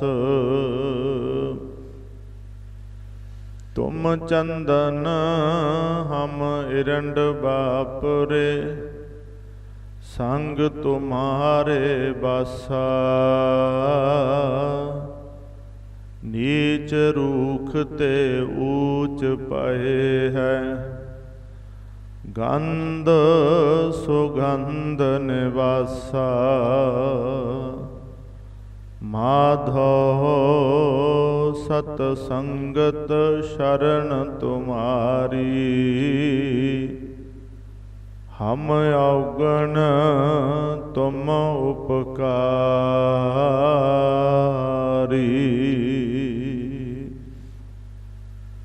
ਸਤਨਾਮ ਵਾਹਿਗੁਰੂ ਸਾਹਿਬ ਜੀ। ਅਸੰਖ ਨਾਵ ਅਸੰਖ ਥਾਵ। ਅਗੰਮ ਅਗੰਮ ਅਸੰਖ ਲੋ ਅਸੰਖ ਨਾਵ, ਅਸੰਖ ਥਾਵ।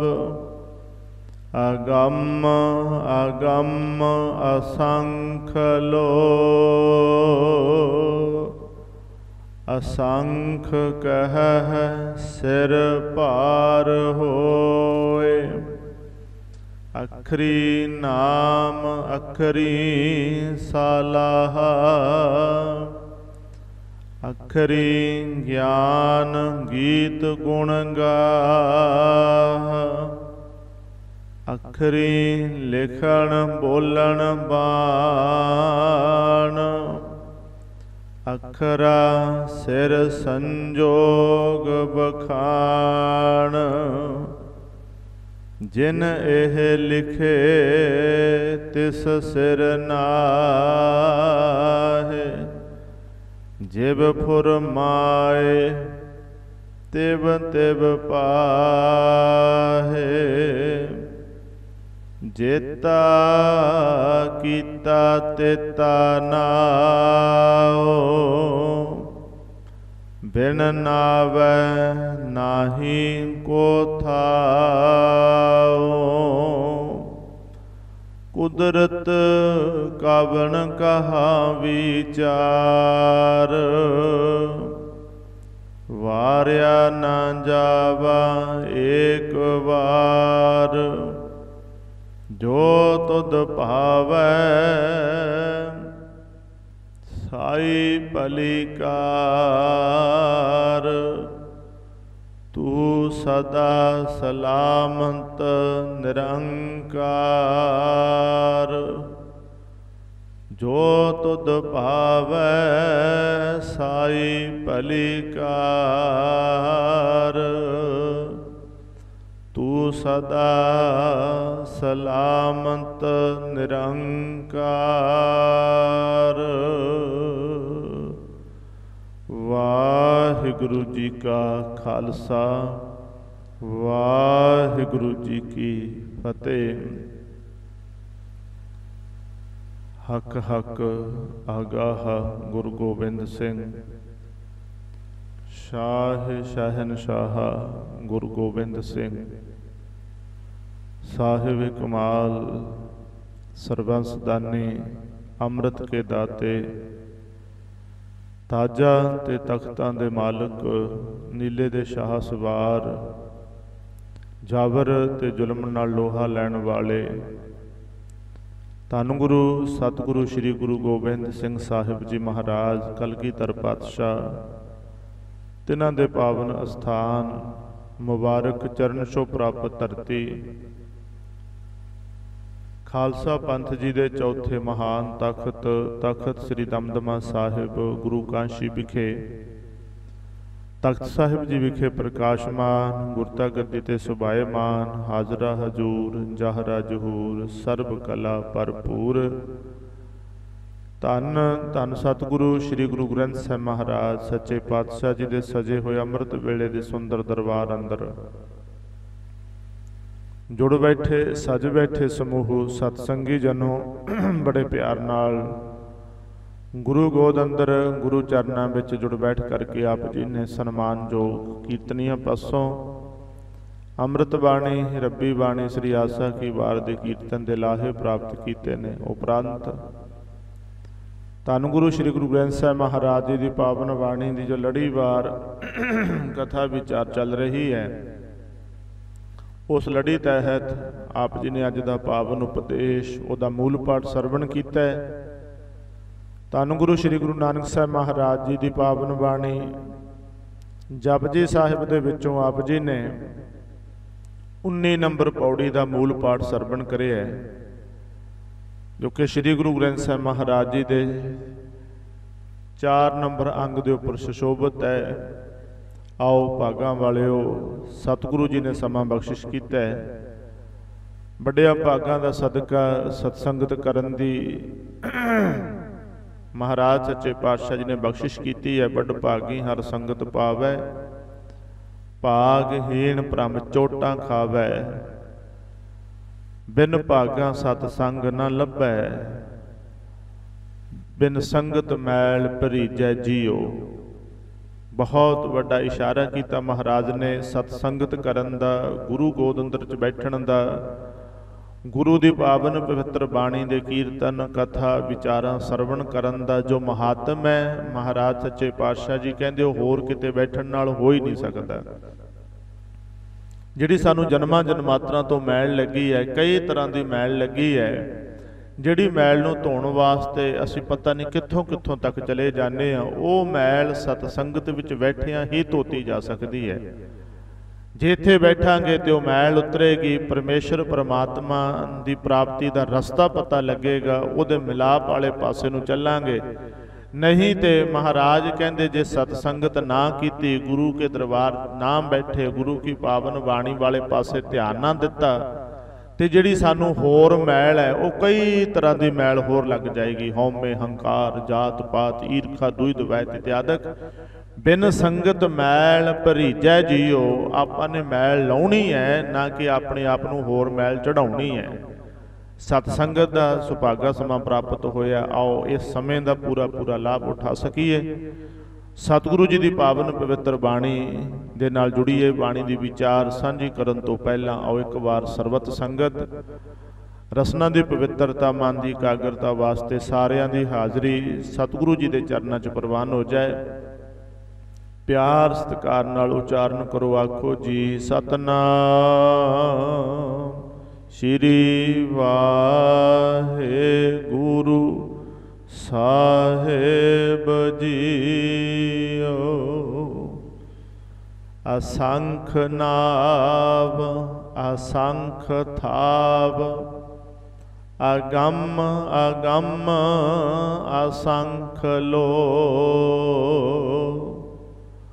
ਬਿਲਕੁਲ, ਪਹਿਲੀਆਂ ਪੌੜੀਆਂ ਦੀ ਤਰ੍ਹਾਂ ਹੀ ਮਹਾਰਾਜ ਸੱਚੇ ਪਾਤਸ਼ਾਹ ਜੀ ਇਸ ਪੌੜੀ ਦੇ ਅੰਦਰ ਵੀ ਸ਼ਬਦ ਅਸੰਖ ਹੀ ਵਰਤ ਰਹੇ ਨੇ। ਦੇਖੋ, ਲਗਾਤਾਰ ਤੀਸਰੀ ਪੌੜੀ ਹੈ। ਸਤਿਗੁਰੂ ਜੀ ਨੇ ਪਹਿਲੀਆਂ ਦੋ ਪੌੜੀਆਂ ਪਲੱਸ ਇਹਦੇ ਵਿੱਚ ਹਰ ਲਾਈਨ ਦੇ ਵਿੱਚ ਦੋ ਤਿੰਨ ਵਾਰੇ ਅਸੰਖ ਸ਼ਬਦ ਵਰਤਣਾ ਕੀਤਾ। ਸ਼ੁਰੂਆਤ ਹੋਈ ਸੀ ਅਸੰਖ ਜਪ, ਅਸੰਖ ਭਾਉ ਅਸੰਖ ਪੂਜਾ, ਅਸੰਖ ਤਪ ਤਾਉ ਅਸੰਖ ਗ੍ਰੰਥ ਮੁਖ ਵੇਦ ਪਾਠ, ਅਸੰਖ ਜੋਗ ਮਨ ਰਹਿ ਉਦਾਸ। ਕਿੰਨੇ ਵਾਰ ਮਹਾਰਾਜ ਨੇ ਸ਼ਬਦ ਵਰਤੇ ਆ। ਇੱਥੇ ਵੀ ਮਹਾਰਾਜ ਉਹੀ ਸ਼ਬਦ। ਇਹਦਾ ਸ਼ਬਦੀ ਅਰਥ ਇਹ ਹੈ, ਇਹ ਸ਼ਬਦ ਉੱਥੇ ਵਰਤਿਆ ਜਾਂਦਾ ਹੈ। ਇਹਦਾ ਇਹ ਉਸ ਦਾ ਸੂਚਕ ਹੈ ਵੀ ਜਿੱਥੇ ਬਾਕੀ ਸ਼ਬਦ ਖਤਮ ਹੋ ਜਾਣ। ਜਿੱਥੇ ਹੋਰ ਸ਼ਬਦ ਮੁੱਕ ਜਾਣ, ਕਿਉਂਕਿ ਮਹਾਰਾਜ ਨੇ ਅਸੰਖ ਦਾ ਮਤਲਬ ਹੈ ਜਿਹੜੀ ਗਿਣਤੀਆਂ ਮਿਣਤੀਆਂ ਦੇ ਚੱਕਰ 'ਚ ਆਈ ਨਾ। ਹਰ ਚੀਜ਼ ਮਿਣੀ ਜਾ ਸਕਦੀ ਹੈ ਹਰ ਚੀਜ਼ ਤੋਲੀ ਜਾ ਸਕਦੀ ਹੈ ਹਰ ਚੀਜ਼ ਗਿਣੀ ਜਾ ਸਕਦੀ ਹੈ ਤਰ੍ਹਾਂ ਤਰ੍ਹਾਂ ਦੇ ਪੈਮਾਨੇ ਨੇ ਔਰ ਹਰ ਚੀਜ਼ ਨੂੰ ਮਿਣਨ ਦਾ ਗਿਣਨ ਦਾ ਤੋਲਣ ਦਾ ਪੈਮਾਨਾ ਹੈਗਾ। ਉਹ ਵੱਖਰੀ ਗੱਲ ਹੈ ਵੀ ਆਪਾਂ ਨੂੰ ਸਿਰਫ ਤੱਕੜੀ ਦੇ ਹੀ ਪਤਾ ਕੰਡੇ ਦੇ ਹੀ ਪਤਾ ਬਸ ਵੀ ਇਹਨਾਂ ਚੀਜ਼ਾਂ ਨਾਲ ਆਪਾਂ ਤੋਲ ਮਿਣ ਸਕਦੇ ਆ ਲੀਟਰ ਦਾ ਪਤਾ ਹੈ ਬਸ ਆਹੀ ਦੋ ਤਿੰਨ ਚੀਜ਼ਾਂ ਪਰ ਇੱਥੇ ਇੰਨੇ ਪੈਮਾਨੇ ਨੇ। ਦੇਖੋ, ਮੀਂਹ ਕਿੰਨਾ ਪਿਆ ਇਹ ਵੀ ਪੈਮਾਨਾ ਹੈਗਾ ਵੀ ਕਿੰਨੇ ਮੀਂਹ ਪਿਆ ਹੈਗਾ, ਤੁਸੀਂ ਕਈ ਵਾਰੀ ਅਖਬਾਰਾਂ 'ਚ ਖਬਰਾਂ ਪੜ੍ਹਦੇ ਹੋ ਵੀ ਅੱਜ ਉੱਥੇ ਇੰਨਾ ਮੀਂਹ ਪਿਆ ਹੈ, ਉਹਨੂੰ ਮਿਣਨ ਦਾ ਵੀ ਪੈਮਾਨਾ ਹੈਗਾ। ਹਵਾ ਕਿੰਨੀ ਸਪੀਡ ਚੱਲਦੀ ਹੈ ਬਰੋਪਰੇ ਦੇ ਪੈਮਾਨੇ ਨੇ। ਕਈ ਵਾਰੀ ਬਾਹਰਲੇ ਦੇਸ਼ਾਂ ਦੇ ਵਿੱਚ ਤਾਂ ਇਹ ਸੂਚਿਤ ਕੀਤਾ ਜਾਂਦਾ, ਪਹਿਲਾਂ ਤੁਸੀਂ ਪੜ੍ਹੇ ਲਿਖਿਓ ਵੀ ਅੱਜ ਇੰਨੀਆਂ ਤੇਜ਼ ਹਵਾਵਾਂ ਚੱਲਣੀਆਂ ਨੇ, ਇੰਨੀਆਂ ਤੇਜ਼ ਹਨੇਰੀਆਂ ਚੱਲਣੀਆਂ ਨੇ ਆਪਣਾ ਆਪਣਾ ਪਹਿਲਾਂ ਹੀ ਦੇਖ ਕੇ ਜਿਹੜਾ ਬਾਹਰ ਨਿਕਲਿਆ ਜਾਵੇ। ਇਹਨਾਂ ਮੀਂਹ ਪੈਣਾ ਇਸ ਤਰ੍ਹਾਂ ਦੇ ਪੈਮਾਨੇ ਨੇ। ਪੈਮਾਨਿਆਂ ਦੀ ਗੱਲ ਆਸਮਾਨ ਦੇ ਤਾਰਿਆਂ ਨੂੰ ਵੀ ਗਿਣਨ ਦੇ ਪੈਮਾਨੇ ਨੇ। ਗੈਲੈਕਸੀਆਂ ਗਿਣੀਆਂ ਗਈਆਂ ਨੇ। ਪਾਣੀ ਕਿੰਨਾ ਹੈ? ਦੇਖੋ, ਸਮੁੰਦਰ ਦਾ ਪਾਣੀ, ਉਹਨੂੰ ਆਪਣੇ ਹਿਸਾਬ ਨਾਲ ਜਾਣੀ ਹਰ ਚੀਜ਼ ਨੂੰ ਗਿਣਨ ਦਾ, ਮਿਣਨ ਦਾ ਪੈਮਾਨਾ ਹੈਗਾ ਹੈ। ਇਸ ਕਰਕੇ ਪਰ ਜਿੱਥੇ ਇਹ ਪੈਮਾਨੇ ਵੀ ਕੰਮ ਨਾ ਕਰਨ ਨਾ ਗਿਣਿਆ ਜਾ ਸਕੇ, ਨਾ ਮਿਣਿਆ ਜਾ ਸਕੇ। ਮੈਂ ਅਰਜ਼ ਕੀਤੀ ਹੈ, ਪੈਮਾਨੇ ਵੱਖਰੇ ਵੱਖਰੇ ਨੇ। ਪੁਚਾਲ ਦੀ ਤੀਬਰਤਾ ਨੂੰ ਜਿਹੜਾ ਸੀ ਮਿਣਨ ਦੇ ਪੈਮਾਨੇ ਨੇ, ਹਨੇਰੀਆਂ ਨੂੰ ਮਿਣਨ ਜਿਹੜਾ ਸੀ ਉਹ ਦੱਸਣ ਦੇ ਪੈਮਾਨੇ ਹੈਗੇ ਨੇ। ਔਰ ਬੰਦਰ ਕਿਹੜੀ ਚੀਜ਼ ਦੀ ਬਾਦ ਘਾਟ ਹੈਗੀ ਹੈ, ਆਪਣੇ ਸਰੀਰ ਦੇ ਅੰਦਰ ਕਿਹੜਾ ਤੱਤ ਵੱਧ ਘਟ ਗਿਆ, ਇਸ ਤਰ੍ਹਾਂ ਦਾ ਵੀ ਸਾਰਾ ਚੈੱਕਅਪ ਹੁੰਦਾ ਹੈਗਾ। ਉਹ ਵੀ ਦੱਸਿਆ ਜਾਂਦਾ ਮਸ਼ੀਨਾਂ ਰਾਹੀਂ। ਪਰ ਮਹਾਰਾਜ ਨੇ ਜਿਹੜਾ ਸ਼ਬਦ ਅਸੰਖ ਵਰਤਿਆ ਨਾ, ਇਹ ਉੱਥੇ ਹੈ ਜਿੱਥੇ ਕੋਈ ਦੱਸ ਹੀ ਨਾ ਸਕੇ। ਇੱਥੇ ਕੋਈ ਪੈਮਾਨਾ ਕੰਮ ਕਰਦਾ ਵੀ ਪ੍ਰਮਾਤਮਾ ਕਿੱਡਾ ਵੱਡਾ। ਕੋਈ ਹੈ ਪੈਮਾਨਾ ਦੱਸਣ ਵਾਲਾ? ਕਿਉਂਕਿ ਏ ਉੱਚਾ ਹੋਵੇ ਕੋਈ, ਤਿਸ ਉੱਚੇ ਕੋ ਜਾਣੈ ਸੋਏ। ਮਹਾਰਾਜ ਕਹਿੰਦੇ ਨੇ, ਉਹਨੂੰ ਤਾਂ ਉਹੀ ਜਾਣ ਸਕਦਾ ਜੇ ਕੋਈ ਓਡਾ ਵੱਡਾ ਹੋਵੇ। ਤੇ ਪਰਮੇਸ਼ਰ, ਪਰਮਾਤਮਾ ਜਿਹੜਾ ਕੌਣ ਹੈ, ਉਹਨੂੰ ਨਾ ਕਿਸੇ ਨਾਲ, ਚੀਜ਼ ਨਾਲ ਮਿਲਿਆ ਜਾ ਸਕਦਾ। ਹੈ ਨਾ ਤੋਲਿਆ ਜਾ ਸਕਦਾ ਹੈ, ਨਾ ਉਹਦਾ ਕੋਈ ਹੋਰ ਹਿਸਾਬ ਲਾਇਆ ਜਾ ਸਕਦਾ ਹੈ। ਇਸ ਕਰਕੇ ਸ਼ਬਦ ਅਸੰਖ ਹੀ ਵਰਤਿਆ ਹੈ ਉਸ ਪਰਮਾਤਮਾ ਦੇ ਵਾਸਤੇ। ਮਹਾਰਾਜ ਇੱਥੇ ਜਿਹੜਾ ਬਚਨ ਕਰ ਰਹੇ ਨੇ, ਕਹਿੰਦੇ ਕਾਦਰ ਦੀ ਕੁਦਰਤ ਦੇ ਅੰਦਰ ਉਸ ਵਾਹਿਗੁਰੂ ਜੀ ਦੇ ਵੱਡੇ ਪਸਾਰੇ ਦੇ ਵਿੱਚ ਅਸੀਂ ਕੀ ਵੇਖਿਆ ਸੀ? ਅਸੰਖੇ ਲੋਕ ਜਪ ਕਰ ਰਹੇ ਨੇ। ਅਸੰਖੇ ਤਪ ਕਰ ਰਹੇ ਨੇ। ਅਸੰਖੇ ਗ੍ਰੰਥਾਂ ਦਾ ਪਾਠ ਪਠਨ ਹੋ ਰਿਹਾ ਹੈ। ਅਸੰਖੇ ਲੋਕ ਤਪ ਸਾਧਨਾਵਾਂ ਕਰ ਰਹੇ ਨੇ। ਕਿੰਨਾ ਕੁਝ ਉਸ ਪੌੜੀ ਦੇ ਵਿੱਚ, ਫਿਰ ਅਗਲੀ ਪੌੜੀ ਦੇ ਵਿੱਚ ਮਹਾਰਾਜ ਨੂੰ ਦੇ ਵਿਪਰੀਤ ਕੁਝ ਇਸ਼ਾਰੇ ਕੀਤੇ ਸਨ। ਅਸੰਖੇ ਮੂਰਖ ਨੇ ਹਨੇਰੇ 'ਚ ਟੱਕਰਾਂ ਮਾਰ ਰਹੇ ਨੇ। ਅਸੰਖਾਂ ਚੋਰੀਆਂ ਤੇ ਹਰਾਮ ਖੋਰੀਆਂ ਕਰ ਕਮਾ ਰਹੇ ਨੇ। ਅਸੰਖੇ ਨੇ ਜਿਹੜੇ ਦੂਜਿਆਂ ਦਾ ਗਲ ਵੱਢ ਰਹੇ ਨੇ, ਕੂੜ ਇਕੱਠਾ ਕਰ ਰਹੇ ਨੇ, ਪਾਪ ਕਮਾ ਰਹੇ ਨੇ। ਮਹਾਰਾਜ ਕਹਿੰਦੇ, ਨਹੀਂ ਉਹਦਾ ਅੰਤ ਪਾਇਆ ਜਾ ਸਕਦਾ, ਪਰਮੇਸ਼ਰ ਦਾ। ਇੱਥੇ ਵੀ ਮਹਾਰਾਜ ਉਹ ਸ਼ਬਦ ਦੀ ਵਰਤੋਂ ਕਰਦੇ ਆ, ਵਚਨ ਕਰਦੇ ਨੇ, ਕਹਿੰਦੇ ਅਸੰਖ ਨਾਵ। ਨਾਵ ਤੋਂ ਜਿਹੜੀ ਚੀਜ਼ ਦੀ ਪਛਾਣ ਹੋ ਸਕੇ। ਇਸਤਰੀ ਹੈ, ਇਹ ਮਰਦ ਹੈ, ਇਹ ਬੱਚਾ ਹੈ, ਇਹ ਬੁੱਢਾ ਹੈ, ਇਹ ਪਦਾਰਥ ਹੈ, ਇਹ ਜਾਨਦਾਰ ਹੈ, ਇਹ ਬੇਜਾਨ ਹੈ। ਮਤਲਬ ਜਿਹੜੀ ਵੀ ਚੀਜ਼ ਦੀ ਪਛਾਣ ਹੁੰਦੀ ਹੈ, ਉਹਦੇ ਨਾਮ ਤੋਂ ਹੀ ਹੁੰਦੀ ਹੈ। ਇੱਥੇ ਬੈਠਿਆਂ ਨੂੰ ਕੋਈ ਚੀਜ਼ ਦਾ ਨਾਮ ਲੈ ਦਈਏ ਨਾ, ਇੱਕਦਮ ਉਹਦਾ ਸਰੂਪ, ਉਹਦਾ ਆਕਾਰ, ਉਹਦੇ ਗੁਣ, ਔਗਣ ਸਾਰੇ ਸਾਡੇ ਧਿਆਨ ਵਿੱਚ ਆ ਜਾਣਗੇ।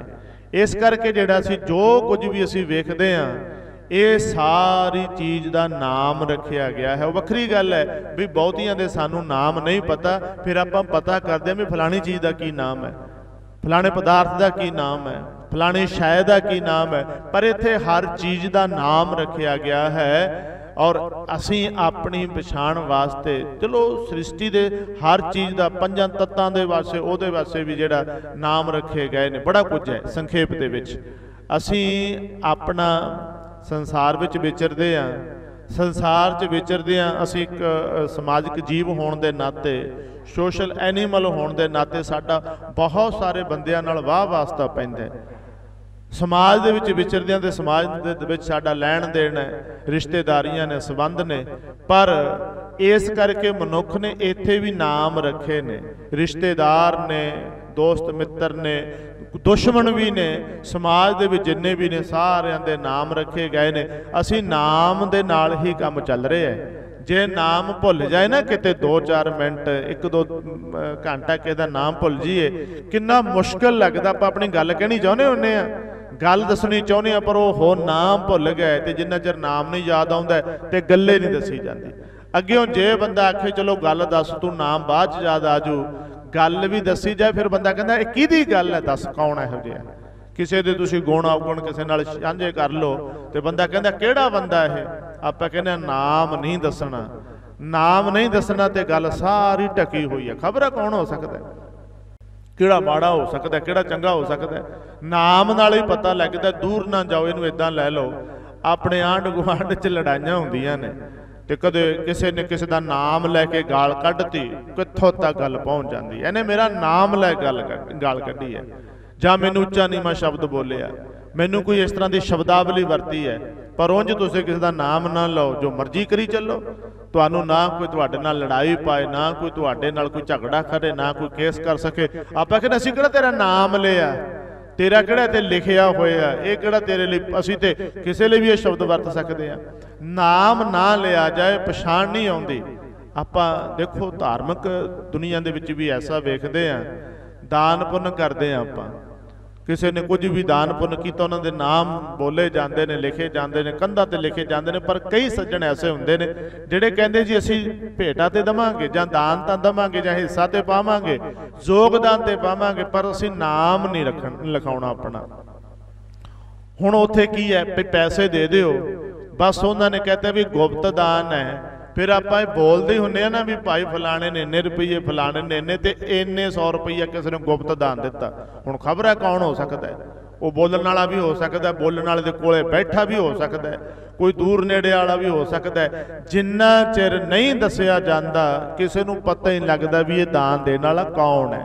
ਨਾਮ ਦੇ ਨਾਲ ਹੀ ਪਤਾ ਲੱਗਦਾ, ਨਾਮ ਬੋਲਿਆ, ਇੱਕਦਮ ਧਿਆਨ ਆਏਗਾ ਵੀ ਸਾਡੇ ਪਿੰਡ ਦਾ ਹੀ ਬੰਦਾ ਹੈ, ਜਾਂ ਸਾਡੇ ਗੁਆਂਢ ਪਿੰਡ ਦਾ ਜਾਂ ਸਾਡੇ ਉਹ ਕਿਤੋਂ ਦੂਰ ਦਾ ਬੰਦਾ ਹੈ। ਵੀ ਇਹ ਕੌਣ ਹੈਗਾ? ਨਾਮ ਦੇ ਨਾਲ ਹੀ ਸਾਰੀ ਖੇਡ ਚੱਲਦੀ ਹੈਗੀ ਹੈ। ਮਹਾਰਾਜ ਸੱਚੇ ਪਾਤਸ਼ਾਹ ਕਹਿੰਦੇ, ਸ੍ਰਿਸ਼ਟੀ ਦੇ ਵਿੱਚ ਦੇਖੋ, ਹਰ ਚੀਜ਼ ਦਾ ਨਾਮ ਰੱਖਿਆ ਗਿਆ ਹੈ। ਤੁਸੀਂ ਚਾਹੇ ਆਸਮਾਨ ਦੀਆਂ ਵੱਲ ਚਲੇ ਜਾਓ, ਆਸਮਾਨ ਦੇ ਵਿੱਚ ਦੇਖੋ, ਔਰ ਤਾਰਿਆਂ ਦੇ ਵੀ ਨਾਮ, ਗ੍ਰਹਿਾਂ ਦੇ ਵੀ ਨਾਮ, ਉਹਨਾਂ ਸਾਰੇ ਕਾਹੇ ਦੇ ਨਾਮ ਰੱਖੇ ਗਏ ਨੇ। ਭਾਵੇਂ ਪਾਤਾਲ ਚਲੇ ਜਾਓ, ਭਾਵੇਂ ਧਰਤੀ ਦੇ ਉੱਪਰ ਵਿਚਰੋ, ਇੱਥੇ ਨਾਮ ਤੋਂ ਬਿਨਾ ਕਿਸੇ ਚੀਜ਼ ਦਾ ਪਤਾ ਨਹੀਂ ਲੱਗਦਾ।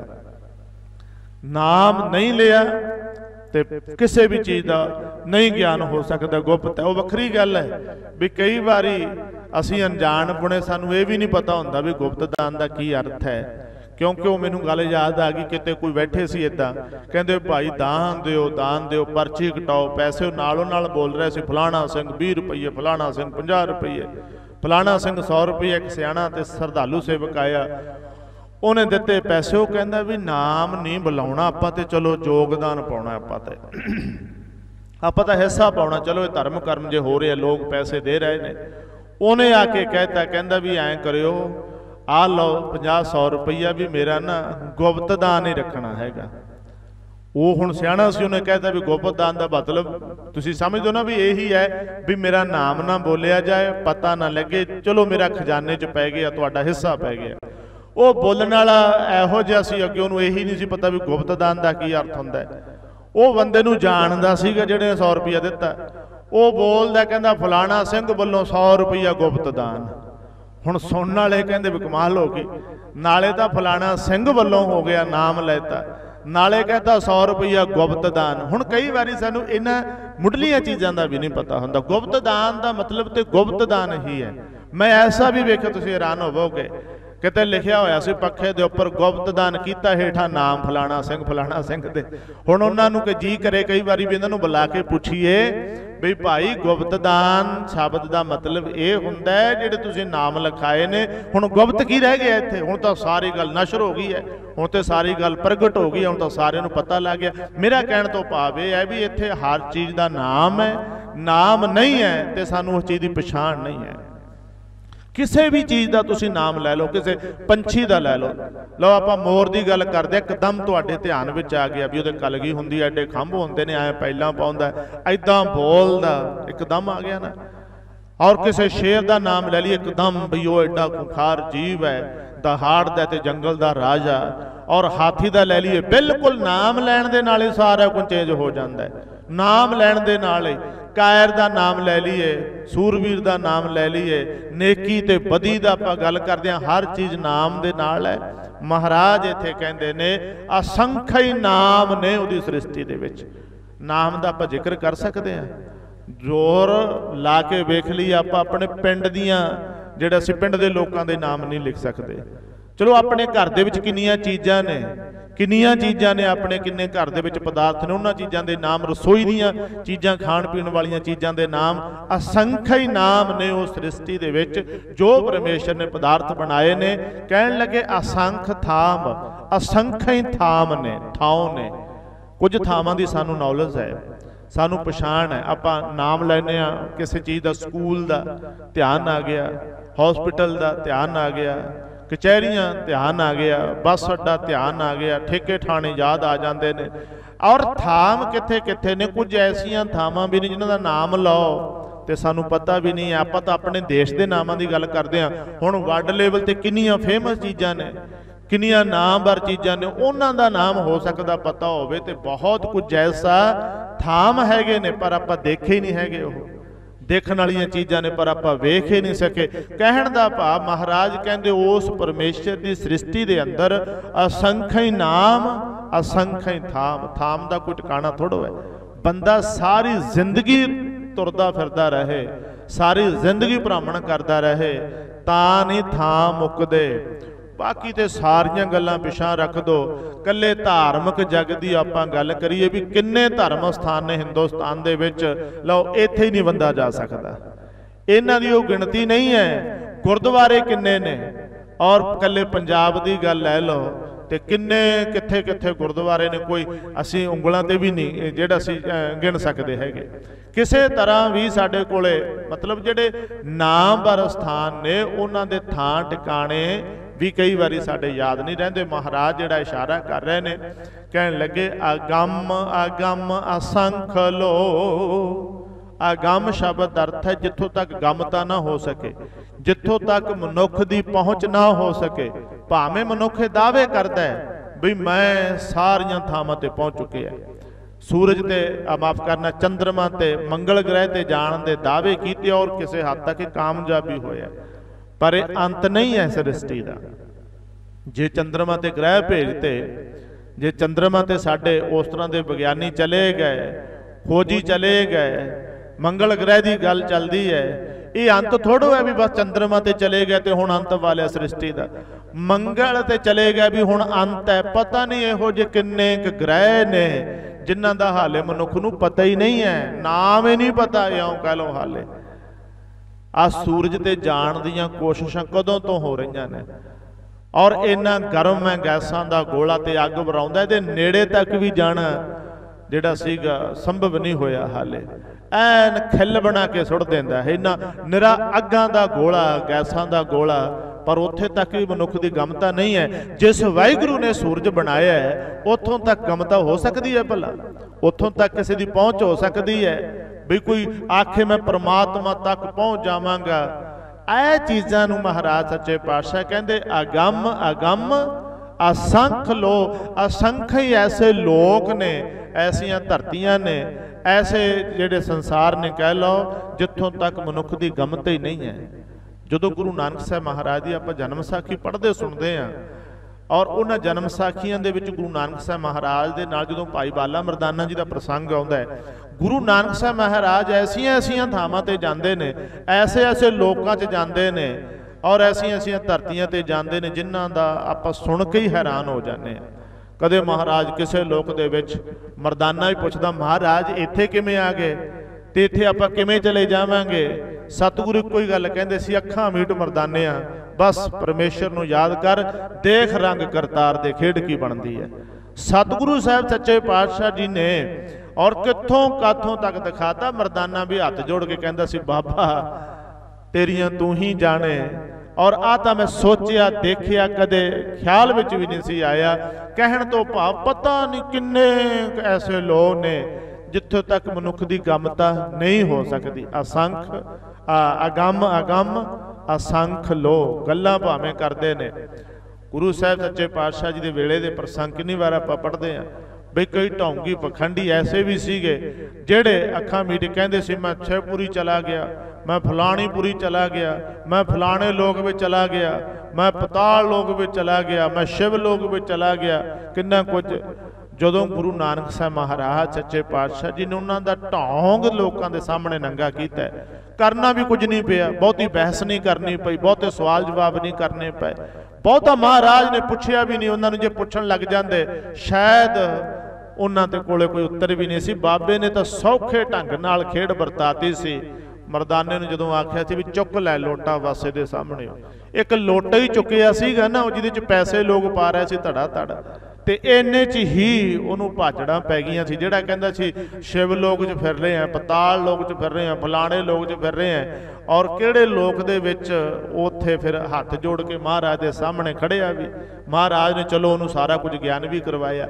ਸੋ ਕਹਿਣ ਤੋਂ ਭਾਵ ਸਿਰਫ ਇਹ ਹੈ ਅਸੰਖਈ ਐਸੀ ਨਾਵ ਨੇ ਅਸੰਖਈ ਥਾਮ ਨੇ, ਆਗਮ ਅਗਮ ਅਸੰਖ ਲੋ ਐਸੇ ਲੋਕ ਨੇ ਜਿੱਥੋਂ ਤੱਕ ਮਨੁੱਖ ਦੀ ਗਮਤਾ ਨਹੀਂ ਹੈਗੀ। ਅਸੰਖ ਕਹਿ ਸਿਰ ਭਾਰ ਹੋਏ। ਮਹਾਰਾਜ ਨੇ ਸ਼ਬਦ ਅਸੰਖ ਵਰਤੇ ਆਪਾਂ ਪਿਛਲੇ 2 ਦਿਨਾਂ ਤੋਂ ਬਾਚ ਰਹੇ ਹਾਂ।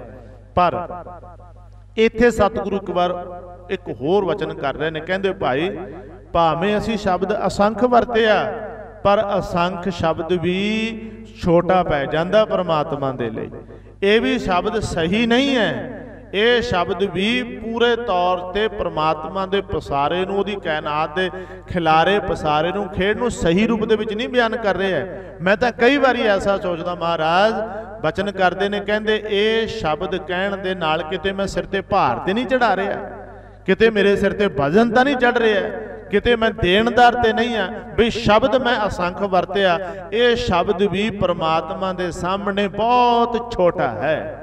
ਬਹੁਤ ਹੀ ਛੋਟਾ ਸ਼ਬਦ ਹੈ। ਆਮ ਅਸੀਂ ਸੰਸਾਰ ਦੇ ਵਿੱਚ ਜਿੱਥੇ ਗਿਣਤੀਆਂ ਮਿਣਤੀਆਂ ਖਤਮ ਹੋ ਗਈਆਂ, ਉੱਥੇ ਅਸੰਖ ਸ਼ਬਦ ਵਰਤਦੇ ਆ, ਪਰ ਪਰਮਾਤਮਾ ਦੇ ਲਈ ਇਹ ਸ਼ਬਦ ਵੀ ਸ਼ਾਇਦ ਠੀਕ ਨਹੀਂ ਹੈ। ਮਹਾਰਾਜ ਕਹਿੰਦੇ ਅਸੰਖ ਕਹਿ ਹੈ ਸਿਰ ਭਾਰ ਹੋਏ ਜੇ ਕੱਲਾ ਇਹ ਸ਼ਬਦ ਵਰਤ ਕੇ ਆਪਾਂ ਕਹਿ ਦਈਏ, ਚਲੋ ਜੀ, ਪਰਮਾਤਮਾ ਬਾਰੇ ਪੂਰਨ ਰੂਪ ਦੇ ਵਿੱਚ ਕਹਿਤਾ ਤਾਂ ਇਹ ਵੀ ਸਿਰ ਤੇ ਭਾਰ ਚੜਾਉਣ ਵਾਲੀ ਗੱਲ ਹੈ। ਇਹ ਵੀ ਪਰਮਾਤਮਾ ਨੂੰ ਛੋਟਾ ਕਰਕੇ ਦਿਖਾਉਣ ਵਾਲੀ ਗੱਲ ਹੋ ਗਈ ਹੈ। ਮਹਾਰਾਜ ਨੇ ਇੱਥੋਂ ਤੱਕ ਅਸੰਖ ਸ਼ਬਦ ਵਰਤਿਆ ਹੈ। ਦੋ ਪੌੜੀਆਂ ਦੇ ਵਿੱਚ ਔਰ ਆ ਤੀਜੀ ਪੌੜੀ ਦੇ ਵਿੱਚ ਜਿਹੜੀਆਂ ਨੇ ਤਿੰਨ ਲਾਈਨਾਂ, ਤਿੰਨ ਪੰਕਤੀਆਂ ਦੇ ਵਿੱਚ ਇਹ ਸ਼ਬਦ ਵਰਤੇ ਆ। ਅੱਗੇ ਮਹਾਰਾਜ ਇੱਕ ਸ਼ਬਦ ਵਰਤ ਰਹੇ ਨੇ, ਉਹ ਸਾਰੀ ਪੌੜੀ ਦੇ ਵਿੱਚ ਉਹੀ ਵਰਤਣਗੇ। ਉਹ ਸ਼ਬਦ ਹੈ ਅਖਰੀ। ਇੱਥੇ ਸਤਿਗੁਰੂ ਕਹਿੰਦੇ ਅਖਰੀ, ਨਾਮ ਅਖਰੀ ਸਾਲਾਹ। ਅਖਰੀ ਗਿਆਨ ਗੀਤ ਗੁਣ ਗਾਹਾ। ਇਹ ਸ਼ਬਦ ਆੜਾ ਖੱਖਾ ਰਾਰੇ ਨੂੰ ਵਿਆਰੀ ਅਖਰੀ ਹੈ। ਇਹਦਾ ਅਖਰੀ ਉਚਾਰਨ ਕਰਾਂਗੇ, ਕੋਈ ਅਰਥ ਨਹੀਂ ਬਣੇਗਾ। ਅਖਰੀ ਕੋਈ ਸ਼ਬਦ ਨਹੀਂ ਹੈ। ਅਖਰੀ ਇਹਦੇ ਉੱਪਰ ਅਧਕ ਲਾ ਕੇ ਅੱਖਰ ਤੋਂ ਭਾਵ ਹੈ, ਅਖਰੀ ਬਹੁ ਵਚਨ ਹੈ। ਅੱਖਰਾਂ ਦੇ ਦੁਆਰਾ ਹੀ ਕੀ ਹੁੰਦਾ ਮਹਾਰਾਜ ਕਹਿੰਦੇ, ਨਾਮ ਅਖਰੀ ਸਾਲਾਹ। ਪਰਮੇਸ਼ਰ ਦਾ ਜੋ ਪਸਾਰਾ ਹੈ ਜੋ ਕੁਝ ਵੀ ਜਿਹਦੇ ਚੀਜ਼ਾਂ ਦੇ ਨਾਮ ਨੇ, ਥਾਮ ਨੇ, ਔਰ ਇਹਨਾਂ ਸਾਰੇ ਕਾਸ ਨੂੰ ਸਮਝਣ ਦੇ ਨਾਲ ਅਖਰੀ ਗਿਆਨ ਹੋਣਾ ਬੜਾ ਜ਼ਰੂਰੀ ਹੈ। ਸ਼ਬਦੀ ਗਿਆਨ ਬੜਾ ਹੋਣਾ ਜ਼ਰੂਰੀ ਹੈ। ਜਦੋਂ ਆਪਾਂ ਅੱਖਰਾਂ ਵਾਲੇ ਪਾਸੇ ਆਨੇ ਬੰਦੇ ਨੂੰ ਅੱਖਰਾਂ ਦੀ ਪਛਾਣ ਨਾ ਹੋਵੇ ਤਾਂ ਅੱਗੇ ਗੱਲੇ ਨਹੀਂ ਤੁਰ ਸਕਦੀ। ਸ਼ਬਦ ਬਾਅਦ ਵਿੱਚ ਬਣਦੇ ਨੇ, ਬਾਕ ਬਾਅਦ ਵਿੱਚ ਬਣਦੇ ਨੇ, ਅੱਗੇ ਗੱਲ ਸਾਰੀ ਬਾਅਦ ਵਿੱਚ ਤੁਰਦੀ ਹੈ। ਸਭ ਤੋਂ ਪਹਿਲੀ ਗੱਲ ਅੱਖਰਾਂ ਦਾ ਗਿਆਨ ਹੋਣਾ ਬੜਾ ਜ਼ਰੂਰੀ ਹੈ। ਇਸ ਕਰਕੇ ਜਦੋਂ ਵੀ ਆਪਾਂ ਸਕੂਲ 'ਚ ਬੱਚਿਆਂ ਨੂੰ ਪੜ੍ਹਨ ਪਾਣੇ ਆ ਤੇ ਸਭ ਤੋਂ ਪਹਿਲਾਂ ਅੱਖਰਾਂ ਦਾ ਗਿਆਨ ਕਰਵਾਇਆ ਜਾਂਦਾ ਵੀ ਇਹ ਊੜਾ ਹੈ, ਇਹ ਆੜਾ, ਇਹ ਈੜੀ ਹੈ, ਇਹ ਸੱਸਾ ਤੇ ਹਾਹਾ ਇਹ ਏ ਬੀ ਸੀ ਹੈ, ਇਹ ਅਲਫਬੇਟ ਇਸੇ ਹੈ ਕਾ ਖਾਗਾ ਜਿਵੇਂ ਵੀ ਜਿਹੜੀ ਵੀ ਆਪਾਂ ਭਾਸ਼ਾ ਪੜ੍ਹਦੇ ਆ ਹਰ ਭਾਸ਼ਾ ਦੇ ਆਪਣੇ ਅੱਖਰ ਨੇ, ਜਿੰਨੀਆਂ ਵੀ ਭਾਸ਼ਾਵਾਂ ਨੇ ਔਰ ਜਿੰਨੀਆਂ ਵੀ ਇਹ ਭਾਸ਼ਾਵਾਂ ਨੇ, ਸਭਨਾਂ ਦੇ ਆਪਣੇ ਆਪਣੇ ਅੱਖਰ ਨੇ ਔਰ ਉਹ ਜਦੋਂ ਤੁਹਾਨੂੰ ਅੱਖਰਾਂ ਦਾ ਗਿਆਨ ਹੋ ਗਿਆ, ਫਿਰ ਤੁਸੀਂ ਉਹਨਾਂ ਤੋਂ ਸ਼ਬਦ ਬਣਾਉਣ ਲੱਗ ਪਏ। ਕੱਕਾ, ਮੰਮਾ, ਲੱਲਾ, ਕਮਲ ਜਦੋਂ ਬੱਚੇ ਪਹਿਲਾਂ ਅੱਖਰ ਦੇਖਦੇ ਨੇ, ਫਿਰ ਉਹਦੇ ਤੋਂ ਫਿਰ ਉਹ ਇੱਕ ਦੂਸਰੇ ਅੱਖਰ ਨਾਲ ਜੋੜ ਕੇ ਸ਼ਬਦ ਬਣਦੇ ਨੇ। ਪਹਿਲਾਂ ਇਦਾਂ ਹੀ ਸ਼ਬਦ ਬਣਦੇ ਨੇ, ਆੜਾ, ਕੱਖਾ, ਅੱਖ, ਜੱਜਾ, ਲੱਲਾ, ਜਲ। ਫਿਰ ਹੌਲੀ ਹੌਲੀ ਫਿਰ ਉਹ ਜਿਹੜੀਆਂ ਨੇ ਲਗਾ ਮਾਤਰਾ, ਜਿਹਨੂੰ ਮੁਹਾਰਨੀ ਆਪਾਂ ਕਹਿ ਦਿੰਨੇ ਆ, ਉਹਦਾ ਗਿਆਨ ਹੁੰਦਾ ਔਂਕੜ, ਦਲੈਂਕੜ, ਲਾਂ, ਦੁਲਾਂ, ਕੰਨਾ ਦੁਲਾਮਾ ਬਿੰਦੀ, ਟਿੱਪੀ, ਫਿਰ ਇਹਦੇ ਤੋਂ ਅੱਗੇ ਸ਼ਬਦ ਬਣਦੇ ਨੇ। ਕੱਲੇ ਅੱਖਰਾਂ ਦੇ ਨਾਲ ਸ਼ਬਦ ਬਹੁਤ ਘੱਟ ਬਣਦੇ ਨੇ, ਬਣਦੇ ਹਨ। ਬਹੁਤ ਘੱਟ ਨੇ, ਪਰ ਜਦੋਂ ਲਗਾ ਮਾਤਰਾ ਲਾਉਣੀਆਂ ਆ ਗਈਆਂ, ਸਿੱਖਣੀਆਂ ਆ ਗਈਆਂ, ਫਿਰ ਅੱਗੇ ਬਾਕ ਬਣਾਉਣੇ ਆ ਗਏ, ਫਿਰ ਆਪਾਂ ਕਹਿੰਦੇ ਵੀ ਹੁਣ ਇਹਨੂੰ ਪੜ੍ਹਨਾ ਆ ਗਿਆ। ਹੁਣ ਇਹ ਪੜ੍ਹ ਵੀ ਸਕਦਾ, ਹੁਣ ਇਹ ਲਿਖ ਵੀ ਸਕਦਾ। ਅੱਖਰਾਂ ਤੋਂ ਬਿਨਾ ਕੁਝ ਨਹੀਂ ਹੈ। ਭਾਵੇਂ ਕਿ ਉਸ ਤੋਂ ਪਹਿਲਾਂ ਬੋਲੀ ਹੈ, ਅੱਖਰਾਂ ਤੋਂ ਬਿਨਾ ਬੋਲੀ ਵੀ ਹੈ, ਕਿਉਂਕਿ ਅੱਖਰਾਂ ਤੋਂ ਬਿਨਾ ਆਪਾਂ ਇਹ ਵੀ ਕਹਿ ਸਕਦੇ ਹਾਂ ਕਿਸੇ ਨੂੰ ਅੱਖਰਾਂ ਦਾ ਉਹਨੂੰ ਗਿਆਨ ਹੀ ਨਹੀਂ, ਊੜੇ ਦੀ ਉਹਨੂੰ ਸਮਝ ਨਹੀਂ, ਆੜਾ ਕਹਿ ਰਿਹਾ, ਪਰ ਬੋਲਦਾ ਹੈਗਾ, ਸੁਣਦਾ ਵੀ ਹੈਗਾ। ਪਰ ਜੇ ਉਹਨੇ ਆਪਣੇ ਬੋਲਾਂ ਨੂੰ ਦੂਸਰੇ ਤੱਕ ਪਹੁੰਚਾਉਣਾ ਹੈ, ਸਦੀਵੀ ਤੌਰ ਤੇ ਰੱਖਣਾ, ਤੇ ਉਹਦੇ ਲਈ ਅੱਖਰ ਬੜੇ ਜ਼ਰੂਰੀ ਨੇ। ਨਹੀਂ ਤੇ ਬੋਲਿਆ ਹੋਇਆ, ਬਸ ਥੋੜੇ ਸਮੇਂ ਬਾਅਦ ਖਤਮ ਹੋ ਜਾਂਦਾ, ਹਵਾ 'ਚ ਹੀ ਉੜ ਜਾਂਦਾ। ਜਿਹੜੀ ਗੱਲ ਤੁਸੀਂ ਬੋਲਤੀ, ਤੇ ਉਹ ਹਵਾ ਚੁੜ ਗਈ ਤੇ ਪਰ ਜਿਹੜੀ ਲਿਖਤੀ ਉਹ ਪਰਮਾਨੈਂਟ ਹੈ, ਬਹੁਤ ਲੰਮੇ ਸਮੇਂ ਤੱਕ ਹੈ। ਇਹ ਗੱਲ ਮਹਾਰਾਜ ਨੇ ਸਮਝੀ ਸੀ। ਅੱਜ ਦਾ ਹੁਕਮਨਾਮਾ ਨਾ ਜਿਹੜਾ, ਉਹਦੇ ਵਿੱਚ ਇੱਕ ਪੰਕਤੀ ਆਈ ਹੈ, ਲਿਖਿਆ ਬਾਅਦੋਂ ਸੁਰਤ ਨਾਹੀ ਪੜਿਓ ਪੰਕਤੀ ਨੂੰ। ਮਹਾਰਾਜ ਨੇ ਉਹਦੇ ਵਿੱਚ ਬੜਾ ਵੱਡਾ ਇਸ਼ਾਰਾ ਕੀਤਾ ਹੈ। ਉਹਦੇ ਜਿਹੜੇ ਕੁਝ ਵਿਦਵਾਨਾਂ ਨੇ ਅਰਥ ਇਹ ਕੀਤੇ ਨੇ ਵੀ ਲਿਖੇ ਤੋਂ ਬਾਅਦ ਬਿਨਾ ਕੋਈ ਚੀਜ਼ਾਂ ਪੱਕੀਆਂ ਨਹੀਂ ਰਹਿੰਦੀਆਂ। ਹੁਣ ਜਦੋਂ ਆਪਾਂ ਬਾਕੀ ਦੇ ਧਰਮਾਂ ਦੀ ਗੱਲ ਕਰਦੇ ਆਂ ਈਸ਼ਾ ਮਸੀਹ ਦੀ ਗੱਲ ਕਰਦੇ ਆਂ ਹਜ਼ਰਤ ਮੁਹੰਮਦ ਸਾਹਿਬ ਦੀ ਗੱਲ ਕਰਦੇ ਆਂ ਇੱਥੇ ਹਿੰਦੁਸਤਾਨ ਦੇ ਜਿਹੜੇ ਹਿੰਦੂ ਮਤ ਨਾਲ ਸੰਬੰਧਿਤ ਗ੍ਰੰਥ ਨੂੰ ਉਹਨਾਂ ਦੀ ਗੱਲ ਕਰਦੇ ਆਂ ਔਰ ਇਹਨਾਂ ਚੋਂ ਕੋਈ ਗ੍ਰੰਥ ਐਸਾ ਨਹੀਂ ਹੈ ਵੀ ਜਿਹੜਾ ਉਸ ਧਰਮ ਦੇ ਪੀਰ ਪੈਗੰਬਰ ਨੇ, ਧਰਮ ਗੁਰੂ ਨੇ ਲਿਖਿਆ ਹੋਵੇ। ਕੋਈ ਹੈ ਐਸਾ? ਜੇ ਆਪਾਂ ਚਾਰ ਵੇਦਾਂ ਦੀ ਗੱਲ ਕਰਦੇ ਆਂ 28 ਸਿਮਰਤੀਆਂ ਸ਼ਾਸਤਰਾਂ ਦੀ ਗੱਲ ਕਰਦੇ ਆਂ ਇਹ ਵੀ ਪਹਿਲਾਂ ਸੁਣ ਸੁਣ ਕੇ, ਸੁਣ ਸੁਣ ਕੇ ਬੜੀ ਲੰਮੇ ਸਮੇਂ ਬਾਅਦ, ਬੜੀ ਦੇਰ ਬਾਅਦ ਇਹ ਲਿਖੇ ਗਏ ਨੇ। ਕਦੇ ਭੋਜ ਪੱਤਰਾਂ ਤੇ ਲਿਖੇ ਗਏ ਸੀ, ਕਦੇ ਕਿਤੇ ਲਿਖੇ ਗਏ ਸੀ, ਹੌਲੀ ਹੌਲੀ ਕਾਗਜ਼ ਤੇ ਫਿਰ ਲਿਖੇ ਗਏ ਤੇ ਹੁਣ ਚਲੋ ਜੀ ਸਾਂਭੇ ਗਏ ਨੇ। ਪਰ ਇਹਨਾਂ ਨੂੰ ਆਪਾਂ ਪ੍ਰਮਾਣਿਕ ਨਹੀਂ ਕਹਿੰਦੇ। ਇਹਨਾਂ ਦੇ ਵਿੱਚ ਬਾਅਦ ਘਾਟ ਦੀਆਂ ਬਹੁਤ ਸਾਰੀਆਂ ਗੁੰਜਾਇਸ਼ਾਂ ਨੇ। ਬਹੁਤ ਕੁਝ ਬਾਅਦ ਘਾਟ ਕੀਤਾ ਗਿਆ। ਔਰ ਹਜ਼ਰਤ ਮੁਹੰਮਦ ਸਾਹਿਬ ਤੋਂ ਕਿੰਨਾ ਸਮਾਂ ਬਾਅਦ ਕੁਰਾਨ ਲਿਖੀ ਗਈ ਹੈ? ਔਰ ਉਹ ਇਸੇ ਤਰ੍ਹਾਂ ਈਸ਼ਾ ਮਸੀਹ ਤੋਂ ਬਾਅਦ ਬਾਈਬਲ ਕਦੋਂ ਲਿਖੀ ਗਈ ਹੈ? ਸ਼ਾਇਦ ਇਸੇ ਕਰਕੇ ਇਹਨਾਂ ਤੇ ਕਿੰਤੂ ਪਰੰਤੂ ਵੀ ਹੋਇਆ ਹੈ। 올ਡ ਟੈਸਟਾਮੈਂਟ ਨਿਊ ਟੈਸਟਾਮੈਂਟ ਪੁਰਾਣੀ ਬਾਈਬਲ ਤੇ ਨਵੀਂ ਬਾਈਬਲ ਦੇ ਵਿੱਚ ਬੜਾ ਵੱਡਾ ਅੰਤਰ ਹੈ। ਉਹਨਾਂ ਨੂੰ ਕਈ ਚੀਜ਼ਾਂ ਬਦਲਣੀਆਂ ਪਈਆਂ ਨੇ, ਚੇਂਜ ਕਰਨੀਆਂ ਪਈਆਂ ਨੇ। ਪਰ ਇੱਕੋ ਹੀ ਇੱਕ ਗ੍ਰੰਥ ਹੈ ਸ੍ਰੀ ਗੁਰੂ ਗ੍ਰੰਥ ਸਾਹਿਬ ਮਹਾਰਾਜ, ਜਿਹੜਾ ਧਰਮ ਗੁਰੂਆਂ ਨੇ ਆਪ ਲਿਖਿਆ ਹੈ। ਮਹਾਰਾਜ ਪੰਜਵੇਂ ਪਾਤਸ਼ਾਹ ਜੀ ਨੇ ਬਹੁਤ ਵੱਡਾ ਪਰਉਪਕਾਰ ਕੀਤਾ ਹੈ। ਔਰ ਸਾਰੇ ਧਰਮ ਗ੍ਰੰਥ ਆਪਣੀ ਜਗ੍ਹਾ ਸਤਿਕਾਰਯੋਗ ਨੇ, ਪਰ ਜਿਹੜਾ ਸਨਮਾਨ, ਜਿਹੜੀ ਵਡਿਆਈ, ਜਿਹੜਾ ਜਸ ਗੁਰੂ ਗ੍ਰੰਥ ਸਾਹਿਬ ਮਹਾਰਾਜ ਨੂੰ ਪ੍ਰਾਪਤ ਹੋਇਆ, ਸ਼ਾਇਦ ਕਿਸੇ ਗ੍ਰੰਥ ਨੂੰ ਨਹੀਂ ਹੈ। ਇਹ ਧਰਮ ਗੁਰੂਆਂ ਨੇ ਆਪ, ਗੁਰੂ ਨਾਨਕ ਸਾਹਿਬ ਮਹਾਰਾਜ ਦੀ ਆਪਣੀ ਬਾਣੀ ਉਹਨਾਂ ਨੇ ਸਾਂਭੀ ਸਾਰੀ। ਕੱਲੀ ਆਪਣੀ ਬਾਣੀ ਨਹੀਂ ਸਾਂਭੀ, ਜਿੱਥੇ ਜਿੱਥੇ ਗਏ, ਜਿਹੜੇ ਜਿਹੜੇ ਭਗਤ ਸਾਹਿਬਾਨਾਂ ਦੇ ਸਥਾਨਾਂ ਤੇ ਗਏ, ਉਹਨਾਂ ਦੀ ਬਾਣੀ ਵੀ ਮਹਾਰਾਜ ਨੇ ਸਾਂਭੀ, ਇਕੱਤਰ ਕੀਤੀ। ਫਿਰ ਹੋਰ ਦੇਖੋ ਸੰਖੇਪ ਦੇ ਵਿੱਚ, ਉਹ ਸਾਰੀ ਬਾਣੀ ਸਾਂਭ ਕੇ ਰੱਖੀ। ਜਦੋਂ ਜੋਤੀ ਜੋਤ ਸਮਾਉਣ ਲੱਗੇ, ਉਦੋਂ ਉਹ ਸਾਰੀ ਬਾਣੀ ਦਾ ਖਜ਼ਾਨਾ ਬਾਬਾ ਅੰਗਦ ਸਾਹਿਬ, ਗੁਰੂ ਅੰਗਦ ਸਾਹਿਬ ਮਹਾਰਾਜ ਨੂੰ ਦੇ ਕੇ ਗਏ। ਔਰ ਉਹ ਜੋਤੀ ਜੋ ਸਮਾਉਣ ਲੱਗੇ, ਉਹਨਾਂ ਨੇ ਤੀਸਰੇ ਗੁਰੂ ਬਾਬਾ ਧੰਨ ਗੁਰੂ ਅਮਰਦਾਸ ਸਾਹਿਬ ਮਹਾਰਾਜ ਨੂੰ ਦਿੱਤਾ ਉਹ ਸਾਰੀ ਲਿਖੀ ਹੋਈ ਬਾਣੀ ਪੰਜਵੇਂ ਪਾਤਸ਼ਾਹ ਤੱਕ ਆਈ ਮਹਾਰਾਜ ਨੇ ਉਹਨੂੰ ਸ੍ਰੀ ਗੁਰੂ ਗ੍ਰੰਥ ਸਾਹਿਬ ਮਹਾਰਾਜ ਦੇ ਵਿੱਚ ਜਿਹੜਾ ਸੀ ਦਰਜ ਕੀਤਾ ਹੈ। ਇਸ ਪਾਵਨ ਬੀੜ ਤਿਆਰ ਕਰ ਦਿੱਤੀ ਔਰ ਐਸੀ ਬੀੜ ਤਿਆਰ ਕੀਤੀ, ਤੁਸੀਂ ਸਾਰੇ ਜਾਣਦੇ ਹੋ ਵੀ ਇਹਦੇ ਵਿੱਚ 35 ਮਹਾਪੁਰਸ਼ਾਂ ਦੀ ਬਾਣੀ ਹੈ, ਭਗਤਾਂ ਦੀ ਬਾਣੀ ਔਰ ਸੰਤਾਂ ਦੀ ਬਾਣੀ, ਭਗ, ਜਿਹੜੇ ਗੁਰੂ ਕੇ ਸਿੱਖ ਸੀ ਉਹਨਾਂ ਦੀ ਬਾਣੀ ਭੱਟ ਸਾਹਿਬਾਨਾਂ ਦੀ ਬਾਣੀ, ਉਹ ਗ੍ਰੰਥ ਐਸਾ ਸਾਂਭਿਆ ਗਿਆ, ਸਦੀਆਂ ਬੀਤ ਗਈਆਂ, ਇੱਕ ਵੀ ਸ਼ਬਦ ਇਧਰ ਉਧਰ ਨਹੀਂ ਹੋਇਆ। ਪਰ ਇਹ ਤੋਂ ਇਲਾਵਾ ਬਹੁਤ ਸਾਰੀ ਬਾਣੀ ਸੀ ਬਾਬਾ ਕਬੀਰ ਜੀ ਦੀ, ਉਹਨਾਂ ਦਾ ਗ੍ਰੰਥ ਹੈ ਬੀਜਕ ਗ੍ਰੰਥ। ਕਬੀਰ ਪੰਥੀਆਂ ਦਾ ਗ੍ਰੰਥ ਹੈ ਬੀਜਕ ਗ੍ਰੰਥ, ਔਰ ਉਹਦੇ ਚ ਕਬੀਰ ਸਾਹਿਬ ਦੀ ਬਾਣੀ ਬਹੁਤ ਵੱਡੀ ਤਦਾਦ ਵਿੱਚ ਹੈ, ਪਰ ਉਹਦੇ ਚ ਬਾਅਦ ਘਾਟ ਦੇ ਆਸਾਰ ਹੈਗੇ ਨੇ। ਬਹੁਤ ਸਾਰੀ ਬਾਣੀ ਜਿਹੜੀ ਸੀ ਉਹ ਸੰਭਾਲੀ ਨਹੀਂ ਗਈ। ਬਹੁਤ ਸਾਰੀ ਬਾਣੀ ਬਾਬਾ ਫਰੀਦ ਜੀ ਦੀ ਹੋਰ तमाम ਭਗਤਾਂ ਦੀ ਬਾਣੀ ਹੈ ਪਰ ਜਿਹੜੀ ਨੂੰ ਮਹਾਰਾਜ ਸੱਚੇ ਪਾਤਸ਼ਾਹ ਨੇ ਕਲਮਬੰਦ ਕਰਤਾ ਦਰਜ ਕਰਤਾ ਪਰਮਾਨੈਂਟ ਉਹ ਜਿਹੜੀ ਹੈ ਪੱਕੇ ਤੌਰ ਤੇ ਔਰ ਉਹ ਸ੍ਰੀ ਗੁਰੂ ਗ੍ਰੰਥ ਸਾਹਿਬ ਮਹਾਰਾਜ ਵਿੱਚ ਸ਼ਾਮਲ ਹੋ ਗਈ ਪਰ ਦੇਖੋ ਆਪ ਆਮ ਵੀ ਕਹਿ ਦਿੰਦੇ ਆ ਵੀ ਫਲਾਣਾ ਬੰਦਾ ਬੜੇ ਕੀਮਤੀ ਬੋਲ ਬੋਲਦਾ ਹੈ ਬੜੀਆਂ ਕਮਾਲ ਦੀਆਂ ਗੱਲਾਂ ਨੇ ਵੀ ਉਹਨੂੰ ਕਲਮ ਬੰਦ ਕਰ ਲੈਣਾ ਚਾਹੀਦਾ ਨਹੀਂ ਉਹਨਾਂ ਦੀਆਂ ਗੱਲਾਂ ਬਸ ਹੁਣ ਸੁਣੀਆਂ ਤੇ ਸੁਣਨ ਵਾਲੇ ਭੁੱਲ ਵੀ ਸਕਦੇ ਨੇ। ਇੱਕ ਹੋਰ ਪ੍ਰੋਬਲਮ ਹੈ ਸੁਣਨ ਦੇ ਵਿੱਚ। ਇਹੀ ਸ਼ਾਸਤਰਾਂ ਤੇ ਸਿਮਰਤੀਆਂ ਸੰਬੰਧੀ ਅਸੀਂ ਪੜ੍ਹਦੇ ਹਾਂ। ਜੋ ਉਪਦੇਸ਼ ਦੇਤਾ, ਜੋ ਗੱਲ ਕਹਿਤੀ ਔਰ ਇਹ ਗੱਲ ਸੁਣਨ ਵਾਲਿਆਂ ਨੇ ਸੁਣੀ, ਜਦੋਂ ਉਹਨਾਂ ਨੇ ਅਗਲੀ ਪੀੜ੍ਹੀ ਨੂੰ ਦੱਸਣੀ ਹੈ, ਉਹਦੇ ਚ 10-20% ਦੀ ਗੁੰਜਾਇਸ਼ ਹੈਗੀ ਹੋਵੇ। 100% ਚੋਂ 10% ਸੁਭਾਵਿਕ ਹੀ ਗੱਲ ਇਧਰ ਉਧਰ ਹੋਣੀ ਓ ਹੋਣੀ ਹੈ। ਕੋਈ ਚੀਜ਼ ਰਹਿ ਗਈ, ਕੋਈ ਚੀਜ਼ ਆਪਾਂ ਵਧਾ ਲਈ ਜਾਂ ਘਟਾ ਲਈ। ਜਦੋਂ ਅਗਲੀ ਪੀੜ੍ਹੀ 'ਚ ਜਾਣੀ ਹੈ 10-20% ਦੀ ਉੱਥੇ ਚਾਂਸ ਰੱਖੋ ਤੁਸੀਂ। ਫਿਰ ਅੱਗੇ ਜਾਣੀ ਹੈ, ਫਿਰ ਗੁਜੈਸ ਰੱਖੋ। ਫਿਰ ਐਨ ਗਾਹਾਂ ਤੱਕ ਜਾਂਦੇ ਹੋ ਗੱਲ ਦਾ ਕੁਝ ਹੋਰ ਹੀ ਸਰੂਪ ਹੋ ਜਾਂਦਾ ਆਪਾਂ ਵੀ ਆਪਾਂ ਕਹਿੰਦੇ ਹਾਂ ਆਪਾਂ ਆਪਣੇ ਬੱਚੇ ਨੂੰ ਕੋਈ ਗੱਲ ਕਹਿ ਦਈਏ ਤੇ ਉਹਨੇ ਵੀ ਜਾਂ ਫਲਾਣੇ ਨੂੰ ਦੱਸਿਆ ਕਿ ਉਹ ਉਹ ਅੱਧੀ ਪਚੱਦੀ ਗੱਲੇ ਦੱਸੇਗਾ। ਕਹੀ ਹੋਈ ਗੱਲ ਸੁਣੀ ਹੋਈ ਗੱਲ ਸਹੀ ਰੂਪ ਦੇ ਵਿੱਚ ਹੈਗਾ, ਨਹੀਂ ਪਹੁੰਚਦੀ। ਸ਼ਾਇਦ ਇਸੇ ਕਰਕੇ ਆਪਾਂ ਕਹਿੰਦੇ ਵੀ ਧਾਰਮਿਕ ਗ੍ਰੰਥਾਂ ਦੇ ਵਿੱਚ ਬਾਦ ਘਾਟ ਹੋਈ ਹੈ ਜੀ। ਇਸ ਕਰਕੇ ਵੀ ਉਹ ਸੁਣਨ ਵਾਲਿਆਂ ਨੇ ਅੱਗੇ ਸੁਣਿਆ ਅੱਗੇ ਸੁਣਿਆ ਤੇ ਅੱਗੇ ਜਾ ਕੇ ਲਿਖਿਆ ਗਿਆ ਤੇ ਅੱਧੀਆਂ ਗੱਲਾਂ ਵਿਸਰ ਗਈਆਂ, ਅੱਧੀਆਂ ਗੱਲਾਂ ਭੁੱਲ ਗਏ, ਅੱਧੀਆਂ ਗੱਲਾਂ ਉਹਨਾਂ ਨੂੰ ਜੋੜਨੀਆਂ ਪਈਆਂ। ਪਰ ਸ੍ਰੀ ਗੁਰੂ ਗ੍ਰੰਥ ਸਾਹਿਬ ਮਹਾਰਾਜ ਦੇ ਵਿੱਚ ਐਸਾ ਨਹੀਂ ਹੈ।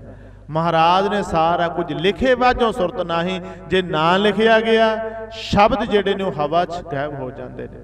ਭਾਵੇਂ ਇਹ ਵੀ ਅਸੀਂ ਮੰਨਦੇ ਆ ਵੀ ਚਲੋ ਹੁਣ ਸਾਇੰਸ ਨੇ ਇਹ ਕਾਢ ਕੱਢ ਲਈ ਹੈ। ਵਿਗਿਆਨ ਨੇ ਇਹ ਸਫਲਤਾ ਹਾਸਲ ਕੀਤੀ ਹੈ ਵੀ ਸ਼ਬਦਾਂ ਦੇ ਬੋਲ ਵੀ ਸੰਭਾਲੇ ਜਾ ਰਹੇ ਨੇ। ਆਡੀਓ ਰਿਕਾਰਡਿੰਗਾਂ ਸਾਂਭੀਆਂ ਜਾ ਰਹੀਆਂ ਨੇ ਨਾ।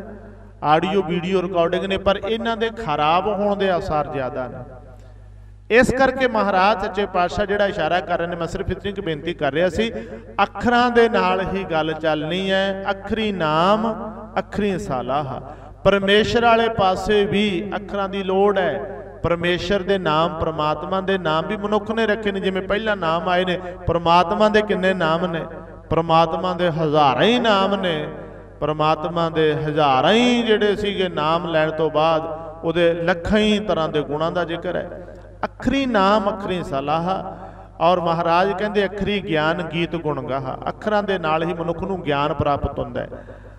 ਅੱਖਰਾਂ ਦੇ ਨਾਲ ਹੀ ਸਮਝ ਆਉਂਦੀ ਹੈ, ਪੜ੍ਹਨਾ ਸਿੱਖਿਆ ਬਹੁਤ ਕੁਝ ਪੜ੍ਹ ਸਕਦਾ ਜੋ ਮਰਜ਼ੀ ਪੜ੍ਹ ਕੇ, ਜਿਸ ਤਰ੍ਹਾਂ ਦਾ ਮਰਜ਼ੀ ਗਿਆਨ ਹਾਸਲ ਕਰ ਸਕੇ।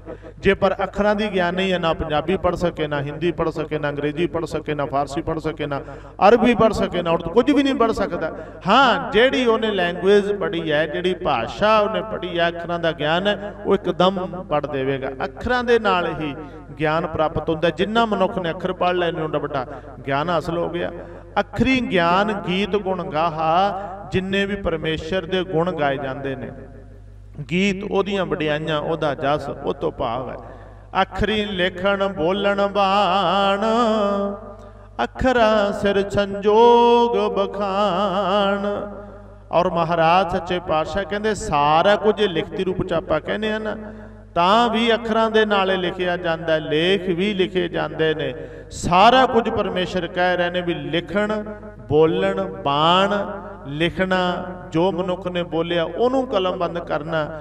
ਸਤਿਗੁਰੂ ਸਾਹਿਬ ਸੱਚੇ ਪਾਤਸ਼ਾਹ ਕਹਿੰਦੇ, ਅਗਲੀ ਗੱਲ ਜਿਹੜੀ ਸਮਝਣ ਵਾਲੀ ਹੈ, ਜਿੱਥੇ ਜ਼ੋਰ ਦਿੱਤਾ, ਕਹਿੰਦੇ, ਜਿਨ ਇਹ ਲਿਖੇ, ਤਿਸ ਸਿਰ ਨਾਹੇ। ਸਾਰਾ ਕੁਝ ਅੱਖਰਾਂ ਚ ਆ ਗਿਆ। ਪਰ ਜਿਸ ਵਾਹਿਗੁਰੂ ਸੱਚੇ ਪਾਤਸ਼ਾਹ ਨੇ ਅੱਖਰ ਬਣਾਏ ਨੇ ਜਿਨੇ ਸਾਰਾ ਕੁਝ ਬਣਾਇਆ ਹੈ, ਔਰ ਉਹ ਆਪ ਇਹਨਾਂ ਅੱਖਰਾਂ ਦੇ ਵਿੱਚ ਨਹੀਂ ਹੈ। ਉਹਨਾਂ ਨੂੰ ਅੱਖਰਾਂ ਦੇ ਨਾਲੇ ਨਹੀਂ ਬਿਆਨ ਕੀਤਾ ਜਾ ਸਕਦਾ, ਸ਼ਬਦਾਂ ਦੇ ਨਾਲੇ ਨਹੀਂ ਬਿਆਨ ਕੀਤਾ ਜਾ ਸਕਦਾ। ਉੱਥੇ ਜਾ ਕੇ ਸ਼ਬਦ ਵੀ ਥੋੜੇ ਪੈ ਜਾਂਦੇ ਨੇ, ਉੱਥੇ ਜਾ ਕੇ ਅੱਖਰ ਵੀ ਥੋੜੇ ਪੈ ਜਾਂਦੇ ਨੇ। ਇਸ ਕਰਕੇ ਮਹਾਰਾਜ ਸੱਚੇ ਪਾਤਸ਼ਾਹ ਕਹਿੰਦੇ, ਜਿਵ ਫਰਮਾਏ ਤਿਬ ਤੇ ਪਾਹੇ ਜਿਵੇਂ ਜਿਵੇਂ ਉਹਦਾ ਹੁਕਮ ਹੈ, ਮਨੁੱਖ ਤਿਵੇਂ ਤਿਵੇਂ ਉਸ ਹੁਕਮ ਦੇ ਮੁਤਾਬਕ ਚੱਲ ਰਿਹਾ ਹੈ। ਅਗਲੀ ਗੱਲ ਕਹਿੰਦੇ, ਜੇਤਾ ਕੀਤਾ, ਤੇਤਾ ਨਾਓ, ਜਿੰਨਾ ਕੁਝ ਵੀ ਪ੍ਰਮਾਤਮਾ ਨੇ ਕੀਤਾ ਦਾ ਮਤਲਬ ਬਣਾਇਆ ਹੈ, ਇਹ ਸਾਰੇ ਦੇ ਨਾਮ ਰੱਖੇ ਨੇ, ਤੇਤਾ ਨਾਓ, ਹਰ ਚੀਜ਼ ਦਾ ਨਾਮ ਰੱਖਿਆ ਗਿਆ ਹੈ। ਕਹਿੰਦੇ ਨੇ, ਬਿਨ ਨਾਵੈ ਨਾਹੀ ਕੋ ਥਾਓ, ਨਾਮ ਤੋਂ ਬਿਨਾ ਕੀ ਚੀਜ਼ ਹੈ? ਹਰ ਚੀਜ਼ ਦਾ। ਬੰਦੇ ਨੂੰ ਸਮਝ ਨਹੀਂ ਹੈ। ਬਹੁਤ ਵੱਖਰੇ ਵੱਖਰੇ ਖੇਤਰ ਨੇ ਔਰ ਜਿਹੜਾ ਬੰਦਾ ਉਸ ਖੇਤਰ ਦਾ ਮਾਹਰ ਹੈ, ਉਹਨੂੰ ਪਤਾ ਹੈ, ਦੂਰ ਨਾ ਜਾਓ। ਆਪਾਂ ਸਮਾਜ 'ਚ ਰਹਿੰਦੇ ਆ ਹੁਣ ਖੇਤੀਬਾੜੀ ਨਾਲ ਸੰਬੰਧਿਤ ਹੈ। ਜਿਹੜਾ ਬੰਦਾ ਖੇਤੀਬਾੜੀ ਵਾਲਾ ਉਹਨੂੰ ਖੇਤੀਬਾੜੀ ਦੇ ਸਾਰੇ ਸੰਦਾਂ ਦੇ ਨਾਮ ਪਤਾ ਹੈ। ਨਿੱਕੇ ਨਿੱਕੇ ਨਟ ਦਾ ਪਤਾ ਹੈ। ਪਰ ਆਮ ਬੰਦੇ ਨੂੰ ਕਹਿ ਦੋ ਵੀ ਲਿਆ ਫਲਾਣੇ ਜਿਹੜੀ ਆ ਚਾਬੀ ਚੱਕ ਲਿਆ ਕਿੰਨੇ ਨੰਬਰ? ਉਹਨੂੰ ਇਹੀ ਨਹੀਂ ਪਤਾ ਲੱਗਣਾ। ਕਿੰਨੇ ਨੰਬਰ? ਆ ਤੁਸੀਂ ਫਰਨੀਚਰ ਵਾਲੇ ਪਾਸੇ ਚਲੇ ਜਾਓ ਮੇਖਾਂ ਦੇ ਵੀ ਨਾਮ ਨੇ 17 ਨੰਬਰ ਮੇਖ ਹੈ 14 ਨੰਬਰ ਮੇਖ ਹੈ ਟੋਪੀ ਵਾਲੀ ਮੇਖ ਹੈ ਇਹ ਕਿੰਨੇ ਹੀ ਕੁਝ ਹੈ। ਪਰ ਆਮ ਬੰਦੇ ਨੂੰ ਇਹ ਵੀ ਨਹੀਂ ਪਤਾ ਲੱਗਣਾ ਬਹੁਤ ਬਰੀਕੀ ਦੇ ਵਿੱਚ ਜਾਣੀ ਕਿ ਇਹ ਗਿਆਨ ਹੈਗਾ। ਖੇਤਰ ਵਾਲੇ ਪਾਸੇ ਚਲੇ ਜਾਓ ਸਬਜ਼ੀਆਂ ਵਾਲੇ ਪਾਸੇ, ਖੇਤੀਬਾੜੀ ਵਾਲੇ ਪਾਸੇ, ਜਿਹੜੀ ਵੀ ਲਾਈਨ 'ਚ ਜਾਓਗੇ, ਮਨੁੱਖ ਨੂੰ ਪਤਾ ਹੈ। ਉਹ ਵੱਖਰੀ ਗੱਲ ਹੈ ਵੀ ਇੱਕ ਮਨੁੱਖ ਨੂੰ ਸਾਰੇ ਕਾਹ ਦੀ ਨੌਲੇਜ ਨਹੀਂ ਹੈ, ਸਾਰੇ ਕਾਹ ਦਾ ਸਮਝ ਨਹੀਂ ਹੈ, ਪਰ ਮਹਾਰਾਜ ਸੱਚੇ ਪਾਤਸ਼ਾਹ ਕਹਿੰਦੇ, ਜੇਤਾ ਕੀਤਾ, ਤੇਤਾ ਨਾਓ, ਬਿਨ ਨਾਵੈ ਨਾਹੀ ਕੋ ਥਾਓ। ਕੁਦਰਤ ਕਾਬਣ ਕਹਾ ਵਿਚਾਰ, ਚੌਥੀ ਵਾਰ ਇਹ ਸ਼ਬਦ ਮਹਾਰਾਜ ਵਰਤ ਰਹੇ ਨੇ। ਕਹਿੰਦੇ ਨੇ ਜੋ ਪਰਮੇਸ਼ਰ ਦੀ ਖੇਡ ਹੈ, ਜੋ ਪਰਮੇਸ਼ਰ ਦਾ ਬਤਾ- ਬ- ਵਰਤਾਰਾ ਹੈ, ਜੋ ਦੀ ਕੁਦਰਤ ਹੈ, ਉਹਨੂੰ ਕੌਣ ਕਹਿ ਸਕਦਾ ਹੈ? ਉਹਦੇ ਬਾਰੇ ਕੌਣ ਸਹੀ ਰੂਪ ਦੇ ਵਿੱਚ ਬਿਆਨ ਸਕਦਾ ਹੈ? ਬਿਆਨ ਕਰ ਸਕਦਾ ਹੈ ਕਾਵਣ ਕਹਾ ਵਿਚਾਰ, ਵਾਰਿਆ ਨਾ ਜਾਵਾ ਇੱਕ ਵਾਰ, ਪਹਿਲੇ ਸ਼ਬਦਾਂ ਦੀ ਤਰ੍ਹਾਂ, ਪਹਿਲੀਆਂ ਪੰਕਤੀਆਂ ਦੀ ਤਰ੍ਹਾਂ। ਮਹਾਰਾਜ ਫਿਰ ਕਹਿੰਦੇ ਨੇ, ਕਹਿੰਦੇ ਮੈਂ ਤਾਂ ਇੱਕ ਵਾਰ ਵੀ ਉਹ ਤੋਂ ਬਲਿਹਾਰ ਵੀ ਨਹੀਂ ਜਾ ਸਕਦਾ ਜੋ ਤੁਧ ਭਾਵੈ ਸਾਈ ਭਲੀ ਕਾਰ, ਜੋ ਤੈਨੂੰ ਪਾਉਂਦਾ ਹੈ ਪਰਮੇਸ਼ਰ ਜੀ, ਉਹੀ ਭਲੀ ਕਾਰ ਹੈ। ਤੂੰ ਸਦਾ ਸਲਾਮਤ ਨਿਰੰਕਾਰ ਹੈ, ਤੂੰ ਸਦਾ ਹੀ ਸਲਾਮਤ ਰਹਿਣ ਵਾਲਾ ਹੈ, ਸਦਾ ਹੀ ਕਾਇਮ ਰਹਿਣ ਵਾਲਾ, ਸਦਾ ਹੀ ਤੂੰ ਸਦੀਵੀ ਹੈ। ਇਸ ਕਰਕੇ ਪ੍ਰਮਾਤਮਾ ਲਈ ਇਹ ਸ਼ਬਦ ਵਰਤੇ ਗਏ ਨੇ। ਬਾਕੀ ਸਭ ਕੁਝ ਨਾਸ਼ਵੰਤ ਹੈ ਚਲਾਏਵਾਨ ਹੈ ਬਿਨਸਨਹਾਰ ਹੈ, ਉਸ ਤਰ੍ਹਾਂ ਦੇ ਸ਼ਬਦ ਆਉਂਦੇ ਨੇ, ਪਰ ਜਿੱਥੇ ਆਉਂਦਾ ਤੂੰ ਸਦਾ ਸਲਾਮਤ ਨਿਰੰਕਾਰ, ਇਹ ਸਿਰਫ ਤੇ ਸਿਰਫ ਪ੍ਰਮਾਤਮਾ ਦੇ ਲਈ ਨੇ। ਵਾਹਿਗੁਰੂ ਜੀ ਦੇ ਲਈ ਨੇ, ਪਰਮੇਸ਼ਰ ਦਾ ਪਸਾਰਾ ਕਿਤਨਾ ਵੱਡਾ ਹੈ, ਖੇਡ ਕਿਤਨੀ ਵੱਡੀ ਹੈ ਔਰ ਇੱਕ ਵਾਰ ਤੁਸੀਂ ਘਰ ਜਾ ਕੇ ਵੀ ਜੇ ਟਾਈਮ ਮਿਲਿਆ ਨਾ, ਇਹ ਤਿੰਨ ਪੌੜੀਆਂ ਨੂੰ ਫੇਰ ਥੋੜਾ ਜਿਹਾ ਰਿਪੀਟ ਕਰਿਓ। ਮਹਾਰਾਜ ਕਿੱਡਾ ਜ਼ਿਕਰ ਕਰ ਰਹੇ ਨੇ, ਅਸੰਖ ਜਪ ਤੋਂ ਲੈ ਕੇ, ਅਸੰਖ ਭਾਉ ਤੋਂ ਲੈ ਕੇ, ਤੇ ਇੱਥੋਂ ਤੱਕ ਅਸੰਖ ਨਾਮ, ਅਸੰਖ ਥਾਵ, ਅਗੰਮ ਅਗੰਮ ਅਸੰਖ ਲੋ, ਅਸੰਖ ਕਹਿ ਸਿਰ ਭਰ ਹੋਏ। ਅਸੰਖ ਸ਼ਬਦਾਂ ਦੀ ਜਿੱਥੇ ਮਹਾਰਾਜ ਨੇ ਸਮਾਪਤੀ ਕੀਤੀ ਹੈ ਨਾ ਇਸ ਪੌੜੀ ਦੇ ਅੰਦਰ ਔਰ ਜਿੱਥੇ ਅਸੰਖ ਸ਼ਬਦ ਇਹ ਤੋਂ ਬਾਅਦ ਨਹੀਂ ਅਸੰਖ ਵਰਤਿਆ, ਦੇਖੋ ਕੈਸੇ ਮਹਾਰਾਜ ਦਾ ਇਸ਼ਾਰਾ। ਅਸੰਖ ਸ਼ਬਦ ਕਹਿ ਕੇ ਕਹਿੰਦੇ ਅਸੰਖ ਸ਼ਬਦ ਛੋਟਾ ਲੱਗਦਾ ਕਿਤੇ ਕਹਿਣ ਦੇ ਨਾਲ ਵੀ ਸਿਰ ਤੇ ਭਾਰ ਨਾ ਚੜਾ ਲਈਏ, ਉਦੋਂ ਬਾਅਦ ਮਹਾਰਾਜ ਨੇ ਅਸੰਖ ਸ਼ਬਦ ਨਹੀਂ ਵਰਤਿਆ। ਉਦੋਂ ਬਾਅਦ ਅੱਖਰ ਸ਼ਬਦ ਵਰਤਿਆ ਹੈਗਾ।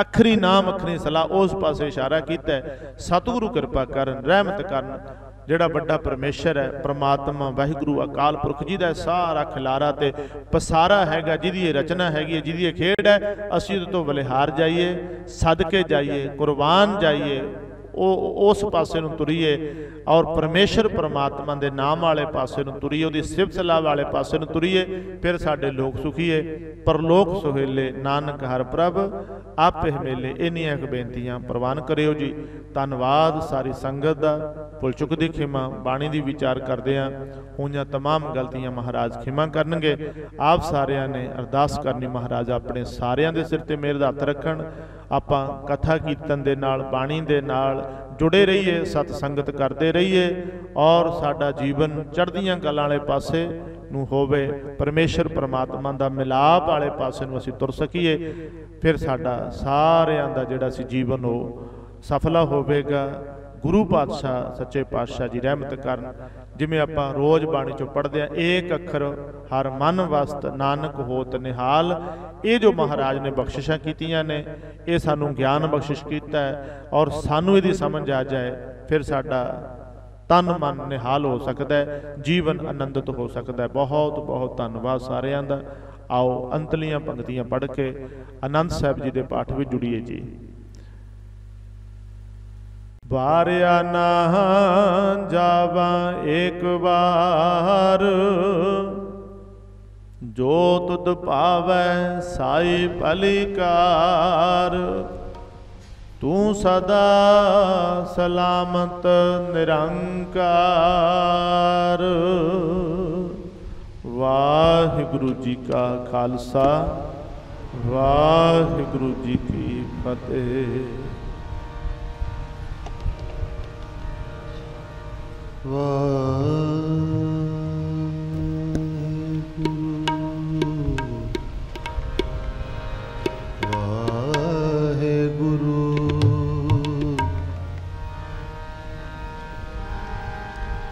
ਸਿੱਖੋ ਸ਼ਬਦ ਪਿਆਰਿਓ।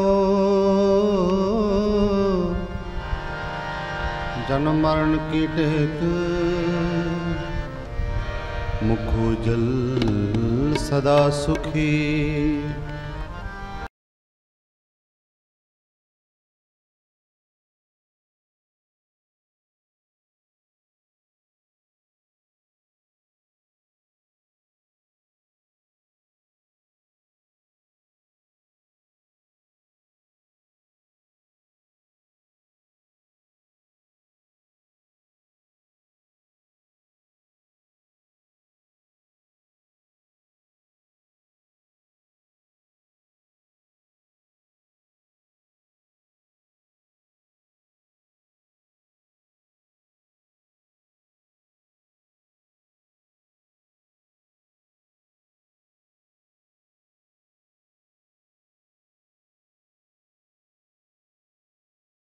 ਮਨ ਮੇਰਿਆ ਤੂੰ ਸਦਾ ਰਹੋ, ਹਰ ਨਾਲੇ ਹਰ ਨਾਲ ਰਹੋ ਤੂੰ ਮਨ। ਮੇਰੇ ਦੁੱਖ ਸਭ ਵਿਸਾਰਣਾ ਅੰਗੀਕਾਰੋ ਕਰੇ ਤੇਰਾ ਕਾਰਜ ਸਭ ਸਵਾਰਨਾ ਸਮਨਾ ਅਗਲਾ ਸਮਰੱਥ ਸੁਆਮੀ, ਸੋ ਕਿਉ ਮਨੋ ਵਿਸਾਰੇ ਕਹਿ ਨਾਨਕ ਮਨ ਮੇਰੇ ਸਦਾ ਰਹੋ, ਹਰ ਨਾਲੇ ਸਾਚੇ ਸਾਹਿਬਾ ਕਿਆ ਨਹੀਂ ਕਰ ਤੇਰੇ ਕਰਤਾ ਤੇਰੇ ਸਭ ਕਿਛ ਹੈ, ਜਿਸ ਦੇ ਸੋ ਪਾਵੇ।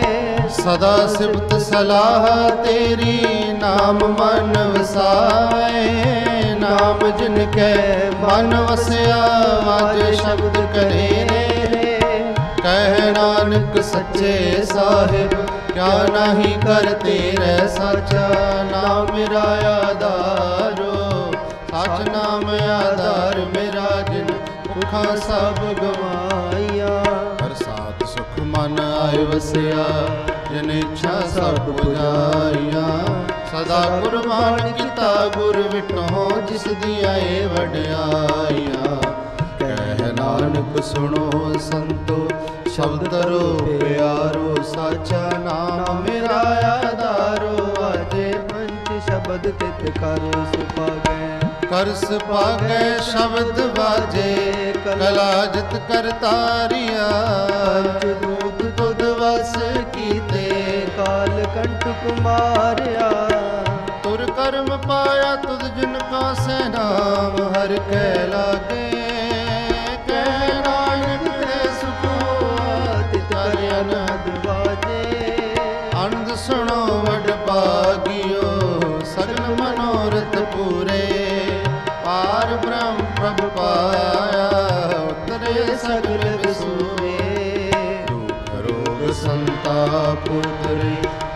ਸੁਣੀ ਸੱਚੀ ਬਾਣੀ।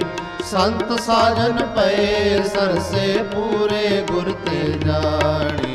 ਸੁਣਤੇ ਪੁਨੀਤ ਕਹਤੇ ਪਵਿੱਤ ਸਤਿਗੁਰ ਰਹਿਆ ਭਰਪੂਰੇ। ਬਿਨ ਨਾਨਕ ਗੁਰ ਚਰਨ ਲਾਗੇ ਵਾਜੇ ਅਨਹਦ ਤੂਰ ਸਲੋ ਪਵਨ ਗੁਰੂ ਬਾਣੀ ਪਿਤਾ, ਮਾਤਾ ਤਰਤ ਮਾਤ, ਦਿਵਸ ਰਾਤ ਦੋਇ ਦਾਈ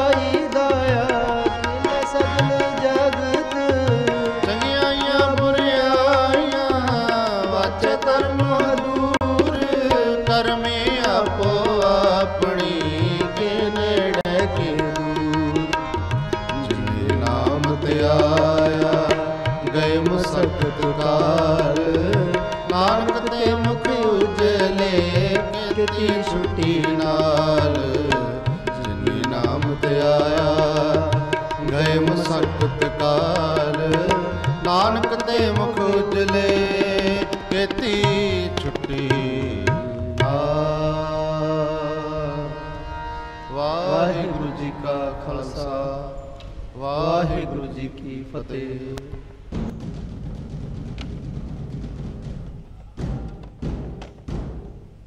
ਤੂੰ ਠਾਕੁਰ, ਤੁਮ ਪੈ ਅਰਦਾਸ, ਜੀਉ ਪਿੰਡ ਸਭ।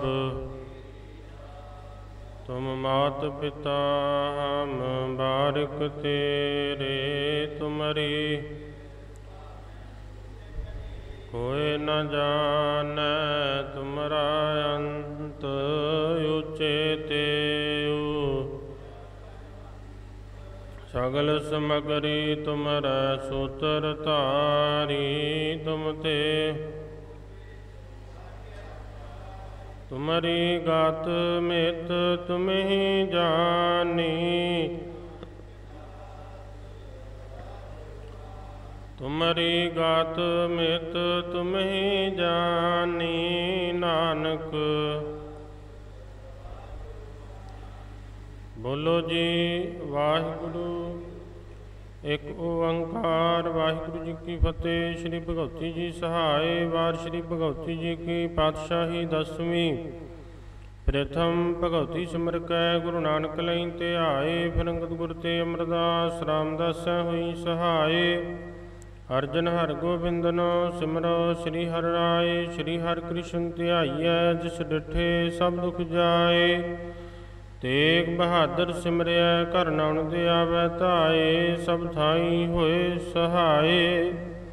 ਦਸਵੇਂ ਪਾਤਸ਼ਾਹ ਸ੍ਰੀ ਗੁਰੂ ਗੋਬਿੰਦ ਸਿੰਘ ਸਾਹਿਬ ਜੀ ਸਭ ਥਾਈ ਹੋਏ ਸਹਾਏ। ਦਸਾਂ ਪਾਤਸ਼ਾਹੀਆਂ ਦੀ ਜੋਤ, ਸ੍ਰੀ ਗੁਰੂ ਗ੍ਰੰਥ ਸਾਹਿਬ ਜੀ ਦੇ ਪਾਠ ਦੀਦਾਰ ਦਾ ਧਿਆਨ ਤਰਕੇ ਬੋਲੋ ਜੀ। ਪੰਜਾਂ ਪਿਆਰਿਆਂ, ਚੌਹਾਂ ਸਾਹਿਬਜ਼ਾਦਿਆਂ, ਚਾਲੀ ਮੁਕਤਿਆਂ, ਹੱਠੀਆਂ, ਜਪੀਆਂ, ਤਪੀਆਂ, ਜਿਨ੍ਹਾਂ ਨਾਮ ਜਪਿਆ, ਵੰਡ ਛਕਿਆ ਦੇਖ ਚਲਾਈ, ਤੇਗ ਵਾਹੀ ਦੇ ਕੇ ਅੰਡਠ ਕੀਤਾ ਤਿਨਾਂ ਪਿਆਰਿਆਂ, ਸਚਿਆਰਿਆਂ ਦੀ ਕਮਾਈ ਦਾ ਧਿਆਨ ਤਰਕੇ, ਖਾਲਸਾ ਜੀ ਬੁੱਲ ਜੀ। ਜਿਨ੍ਹਾਂ ਸਿੰਘਾਂ ਸਿੰਘਣੀਆਂ ਨੇ ਧਰਮ ਹੈ ਸੀਸ ਦਿੱਤੇ, ਬੰਦ ਬੰਦ ਕਟਾਏ, ਖੋਪਰੀਆਂ ਲੋਹਾਈਆਂ, ਚਰਖੀਆਂ ਤੇ ਚੜੇ, ਆਰਿਆਂ ਨਾਲ ਚਰਾਏ ਗਏ। ਗੁਰਦੁਆਰਿਆਂ ਦੀ ਸੇਵਾ ਲਈ ਕੁਰਬਾਨੀਆਂ ਕੀਤੀਆਂ, ਧਰਮ ਨਹੀਂ ਹਾਰਿਆ, ਸਿੱਖੀ ਕੇਸਾਂ, ਸਵਾਸਾਂ ਸੰਗ ਨਬਾਹੀ ਤਿਨਾਂ ਦੀ ਕਮਾਈ ਦਾ ਧਿਆਨ ਤਰਕੇ, ਖਾਲਸਾ ਜੀ ਬੋਲੋ ਜੀ। ਪੰਜਾਂ ਤਖਤਾਂ, ਸਰਬੱਤ ਗੁਰਦੁਆਰਿਆਂ ਦਾ ਧਿਆਨ ਤਰਕੇ ਬੋਲੋ ਜੀ। ਪ੍ਰਥਮੈ ਸਰਬੱਤ ਖਾਲਸਾ ਜੀ ਕੀ ਅਰਦਾਸ ਹੈ ਜੀ। ਸਰਬੱਤ ਖਾਲਸਾ ਜੀ ਕੋ ਵਾਹਿਗੁਰੂ ਵਾਹਿਗੁਰੂ ਵਾਹਿਗੁਰੂ। ਚਿਤ ਆਵੇ, ਚਿਤ ਆਵਨ ਕਾ ਸਦਕਾ ਸਰਬ ਸੁਖ ਹੋਵੇ।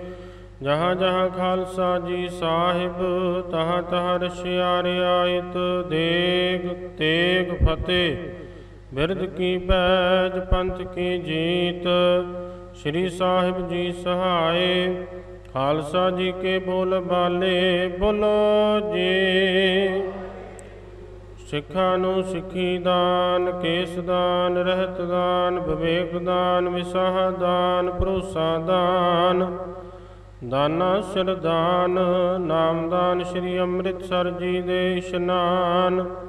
ਚੌਂਕੀਆਂ, ਝੰਡੇ, ਬੁੰਗੇ, ਜੁਗੋ ਜੋਗਿਆ ਟਲ ਧਰਮ ਕਾ ਜਕਾਰ ਬੋਲੋ ਜੀ। ਸਿੱਖਾਂ ਦਾ ਮਨ ਨੀਵਾ, ਮਤ ਉੱਚੀ ਮਤ ਦਾ ਰਾਖਾ ਆਪ ਵਾਹਿਗੁਰੂ। ਏ ਅਕਾਲ ਪੁਰਖ, ਆਪਣੇ ਪੰਥ ਦੇ ਸਦਾ ਸਹਾਈ ਦਾ ਤਾਰ ਜੀਓ। ਸ਼੍ਰੀ ਨਨਕਾਣਾ ਸਾਹਿਬ ਅਤੇ ਹੋਰ ਗੁਰਦੁਆਰਿਆਂ ਗੁਰਧਾਮਾਂ ਦੇ, ਜਿਨ੍ਹਾਂ ਤੋਂ ਪੰਥ ਨੂੰ ਵਿਛੋੜਿਆ ਗਿਆ ਹੈ ਖੁੱਲੇ ਦਰਸ਼ਨ ਦੀਦਾਰ ਅਤੇ ਸੇਵਾ ਸੰਭਾਲ ਦਾ ਦਾਨ।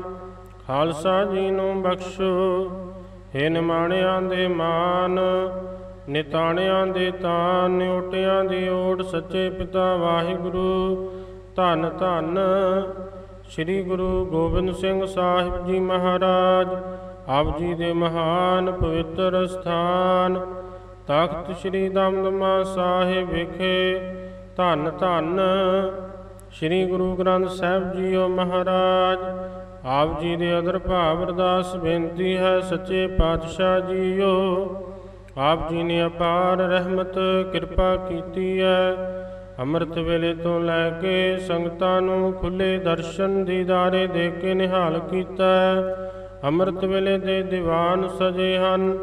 ਸਜੇ ਹੋਏ ਦੀਵਾਨਾਂ ਵਿੱਚ ਸ਼੍ਰੀ ਆਸਾ ਕੀ ਵਾਰ ਦੇ ਕੀਰਤਨ ਲੜੀਵਾਰ ਗੁਰ ਸ਼ਬਦ ਵਿਚਾਰ ਉਪਰੰਤ ਛੇ ਪੌੜੀਆਂ ਆਨੰਦ ਸਾਹਿਬ ਜੀ ਦੇ ਜਾਪ ਹੋਏ ਨੇ। ਸਮੁੱਚੀ ਸੇਵਾ ਨਿਭਾਉਂਦਿਆਂ ਤੋਂ ਹੋਈਆਂ ਬੇਅੰਤ ਪ੍ਰਕਾਰ ਦੀਆਂ ਭੁੱਲਾਂ, ਗਲਤੀਆਂ ਦੀ ਮੁਆਫੀ ਬਖਸ਼ਣੀ। ਅੱਗੇ ਵਾਸਤੇ ਸਮਤ ਬਖਸ਼ਣੀ ਪੜੀ ਸੁਣੀ ਬਾਣੀ ਦਾ ਭਾਵ ਦਾਰਾਈ ਸੰਗਤ ਦੇ ਹਿਰਦਿਆਂ ਤੇ ਵਸਾਉਣਾ। ਆਈ ਹੋਈ ਸੰਗਤ ਵੱਲੋਂ ਤਿਲ ਫੁੱਲ ਪੇਟਾਵਾਂ ਦਰ ਤੇ ਪ੍ਰਵਾਨ ਕਰਨੀਆਂ। ਗੁਰਮਤ ਅਨੁਸਾਰ ਸਭਨਾ ਦੀਆਂ ਮਨੋ ਕਾਮਨਾਵਾਂ ਭਾਵਨਾਵਾਂ ਸੰਪੂਰਨ ਕਰਨੀਆਂ। ਕਾਰਜ ਰਾਸ ਕਰਨੇ ਯਾਤਰਾ ਸਫਲ ਕਰਨੀ, ਕਿਰਪਾ ਕਰਨੀ ਸਤਿਗੁਰੂ ਜੀ। ਖਾਲਸਾ ਪੰਥ ਦੀ ਚੜ੍ਹਦੀ ਕਲਾ ਕਰਨੀ, ਬਾਣੀ ਅਤੇ ਬਾਣੇ ਦੇ ਧਾਰਨੀ ਬਣਾਉਣਾ, ਆਪਸ ਵਿੱਚ ਪ੍ਰੇਮ, ਪਿਆਰ ਅਤਫਾਕ ਬਖਸ਼ਣਾ। ਐਸ ਵੇਲੇ ਆਪ ਜੀ ਦੀ ਹਜ਼ੂਰੀ ਅੰਦਰ, ਆਪ ਜੀ ਦੇ ਖਜ਼ਾਨਿਆਂ ਵੱਲੋਂ, ਆਪ ਜੀ ਦੀਆਂ ਸੰਗਤਾਂ ਵੱਲੋਂ ਪੰਚਾਮ੍ਰਿਤ ਕੜਾ ਪ੍ਰਸ਼ਾਦ ਦੀ ਦੇਗ ਹਾਜ਼ਰ ਹੈ। ਦਰ ਪ੍ਰਵਾਨ ਹੋਵੇ, ਪ੍ਰਵਾਨ ਹੋਇਆ ਪ੍ਰਸ਼ਾਦ। ਸੰਗਤ ਵਿੱਚ ਵਰਤਾਉਣ ਦੀ ਆਗਿਆ ਬਖਸ਼ੋ, ਕਰੋ ਕਿਰਪਾ। ਸੰਗਤਾਂ ਨੂੰ ਲਾਹੀ ਫਰਮਾਨ ਬਖਸ਼ ਕੇ ਨਿਹਾਲ ਕਰੋ ਅਤੇ ਅਗਲੇ ਦੀਵਾਨ ਸਜਾਉਣ ਦੀ ਆਗਿਆ ਬਖਸ਼ੋ। ਸਹੀ ਪਿਆਰੇ ਮੇਲ ਜਿਨ੍ਹਾਂ ਮਿਲਿਆ ਆਪ ਜੀ ਦਾ ਨਾਮ ਚਿਤ ਆਵੇ। ਨਾਨਕ ਨਾਮ ਚੜ੍ਹਦੀ ਕਲਾ, ਤੇਰੇ ਭਾਣੇ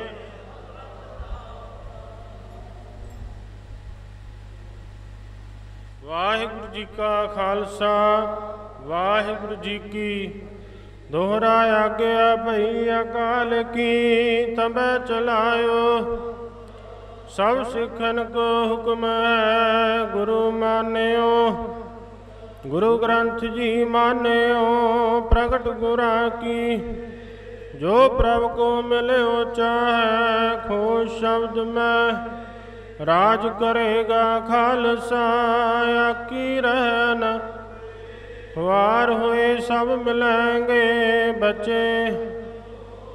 ਖਵਾਰ ਹੋਏ ਸਭ ਮਿਲਾਂਗੇ ਬੱਚੇ। ਬੋਲੇ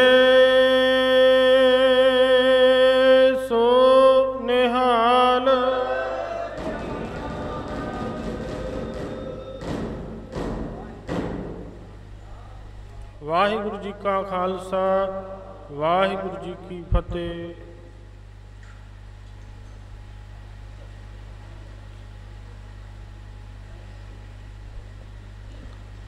ਵਾਹਿਗੁਰੂ ਸਾਹਿਬ ਜੀ,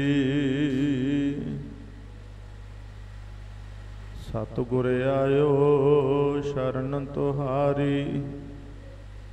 ਮਿਲੈ ਸੁਖ ਨਾਮ ਹਰ ਸੋਭਾ। ਚਿੰਤਾ ਲਾਹੇ ਹਮਾਰੀ।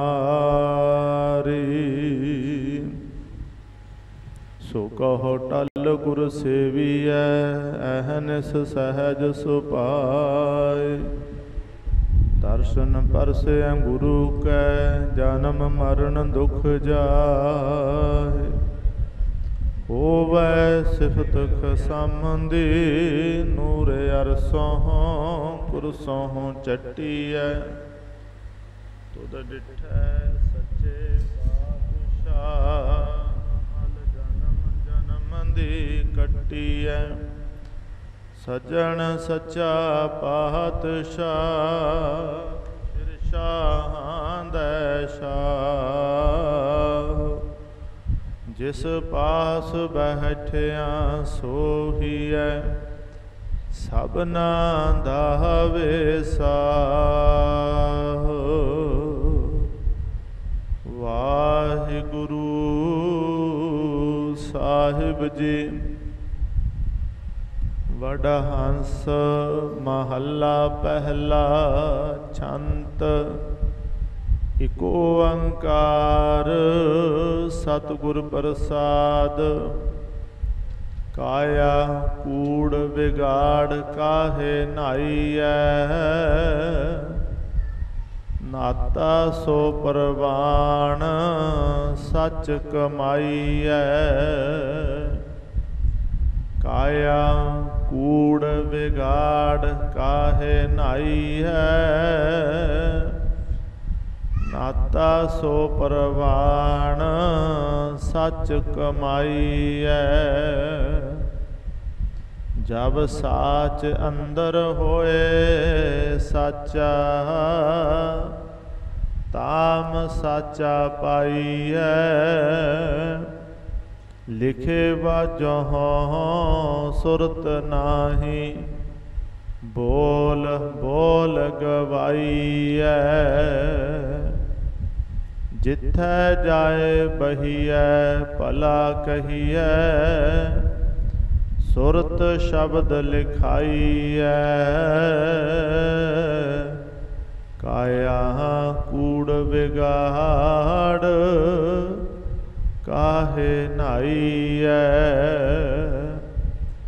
ਤਾ ਮੈਂ ਕਹਿਆ, ਕਹਿਣ, ਜਾ ਤੁਜੈ ਕਹਾਇਆ। ਅੰਮ੍ਰਿਤ ਹਰ ਕਾ ਨਾਮ ਮੇਰੇ ਮਨ ਪਾਇਆ। ਨਾਮ ਮਿੱਠਾ ਮਨ ਲਾਗਾ, ਦੁਖ ਡੇਰਾ ਟਾਹਿਆ। ਸੂਖ ਮਨ ਮਹਿ ਆਏ ਵਸਿਆ, ਜਾਮ ਤੈ ਪੁਰਮਾਇਆ। ਨਾਦਰ ਤੁਧ ਅਰਦਾਸ ਮੇਰੀ, ਜਿਨ ਆਪੋ ਪਾਇਆ, ਤਾ ਮੈਂ ਕਹਿਆ, ਕਹਿਣ, ਜਾ ਤੁਜੈ ਕਹਾਇਆ। ਵਾਰੀ ਖਸਮ ਕਢਾਏ ਕਿਰਤ ਕਮਾਵਣਾ, ਮੰਦਾ ਕਿਸੈ ਨ ਆਖ ਝਗੜਾ ਪਾਵਣਾ। ਨਹ ਪਾਏ ਝਗੜਾ ਸਵਾਮ ਸੇਤੀ। ਆਪ ਆਪ ਬੰਝਾਵਣਾ, ਜਿਸ ਨਾਲ ਸੰਗਤ ਕਰ ਸ਼ਰੀਕੀ, ਜਾਏ ਕਿਆ ਰੂਆਵਣਾ ਜੋ ਦੇਹ ਸਹਿਣਾ ਮਨ ਹੈ ਕਹਿਣਾ, ਆਖ ਨਾਹੀ ਵਾਵਣਾ। ਵਾਰੀ ਖਸਮ ਕਢਾਏ ਕਿਰਤ ਕਮਾਵਣਾ। ਸਭ ਉਪਾਇਨ ਆਪ ਆਪੇ ਨਦਰ ਕਰੇ। ਕੌੜਾ ਕੋਏ ਨ ਮੰਗੈ, ਮੀਠਾ ਸਭ ਮੰਗੈ। ਸਭ ਕੋਏ ਮੀਠਾ ਮੰਗ ਦੇਖੈ, ਖਸਮ ਪਾਵੈ ਸੋ ਕਰੇ। ਕਿਛ ਪੁੰਨ ਦਾਨ ਅਨੇਕ ਕਰਨੀ, ਨਾਮ ਤੁਲਨਾ ਸਮਸਰੇ ਨਾਨਕਾ ਜਿਨ ਨਾਮ ਮਿਲਿਆ, ਕਰਮ ਹੋਆ ਤੁਰ ਕਦੇ। ਸਭ ਉਪਾਹੀਨ ਆਪ ਆਪੇ ਨਦਰ ਕਰੇ। ਨਾਨਕਾ ਜਿਨ ਨਾਮ ਮਿਲਿਆ ਕਰਮ ਹੋਆ ਤੁਰ ਕਦੇ, ਸਭ ਉਪਾਹੀਨ ਆਪ, ਆਪੇ ਨਦਰ ਕਰੇ। ਵਾਹਿਗੁਰੂ ਜੀ ਕਾ ਖਾਲਸਾ, ਵਾਹਿਗੁਰੂ ਜੀ ਕੀ ਫਤਿਹ।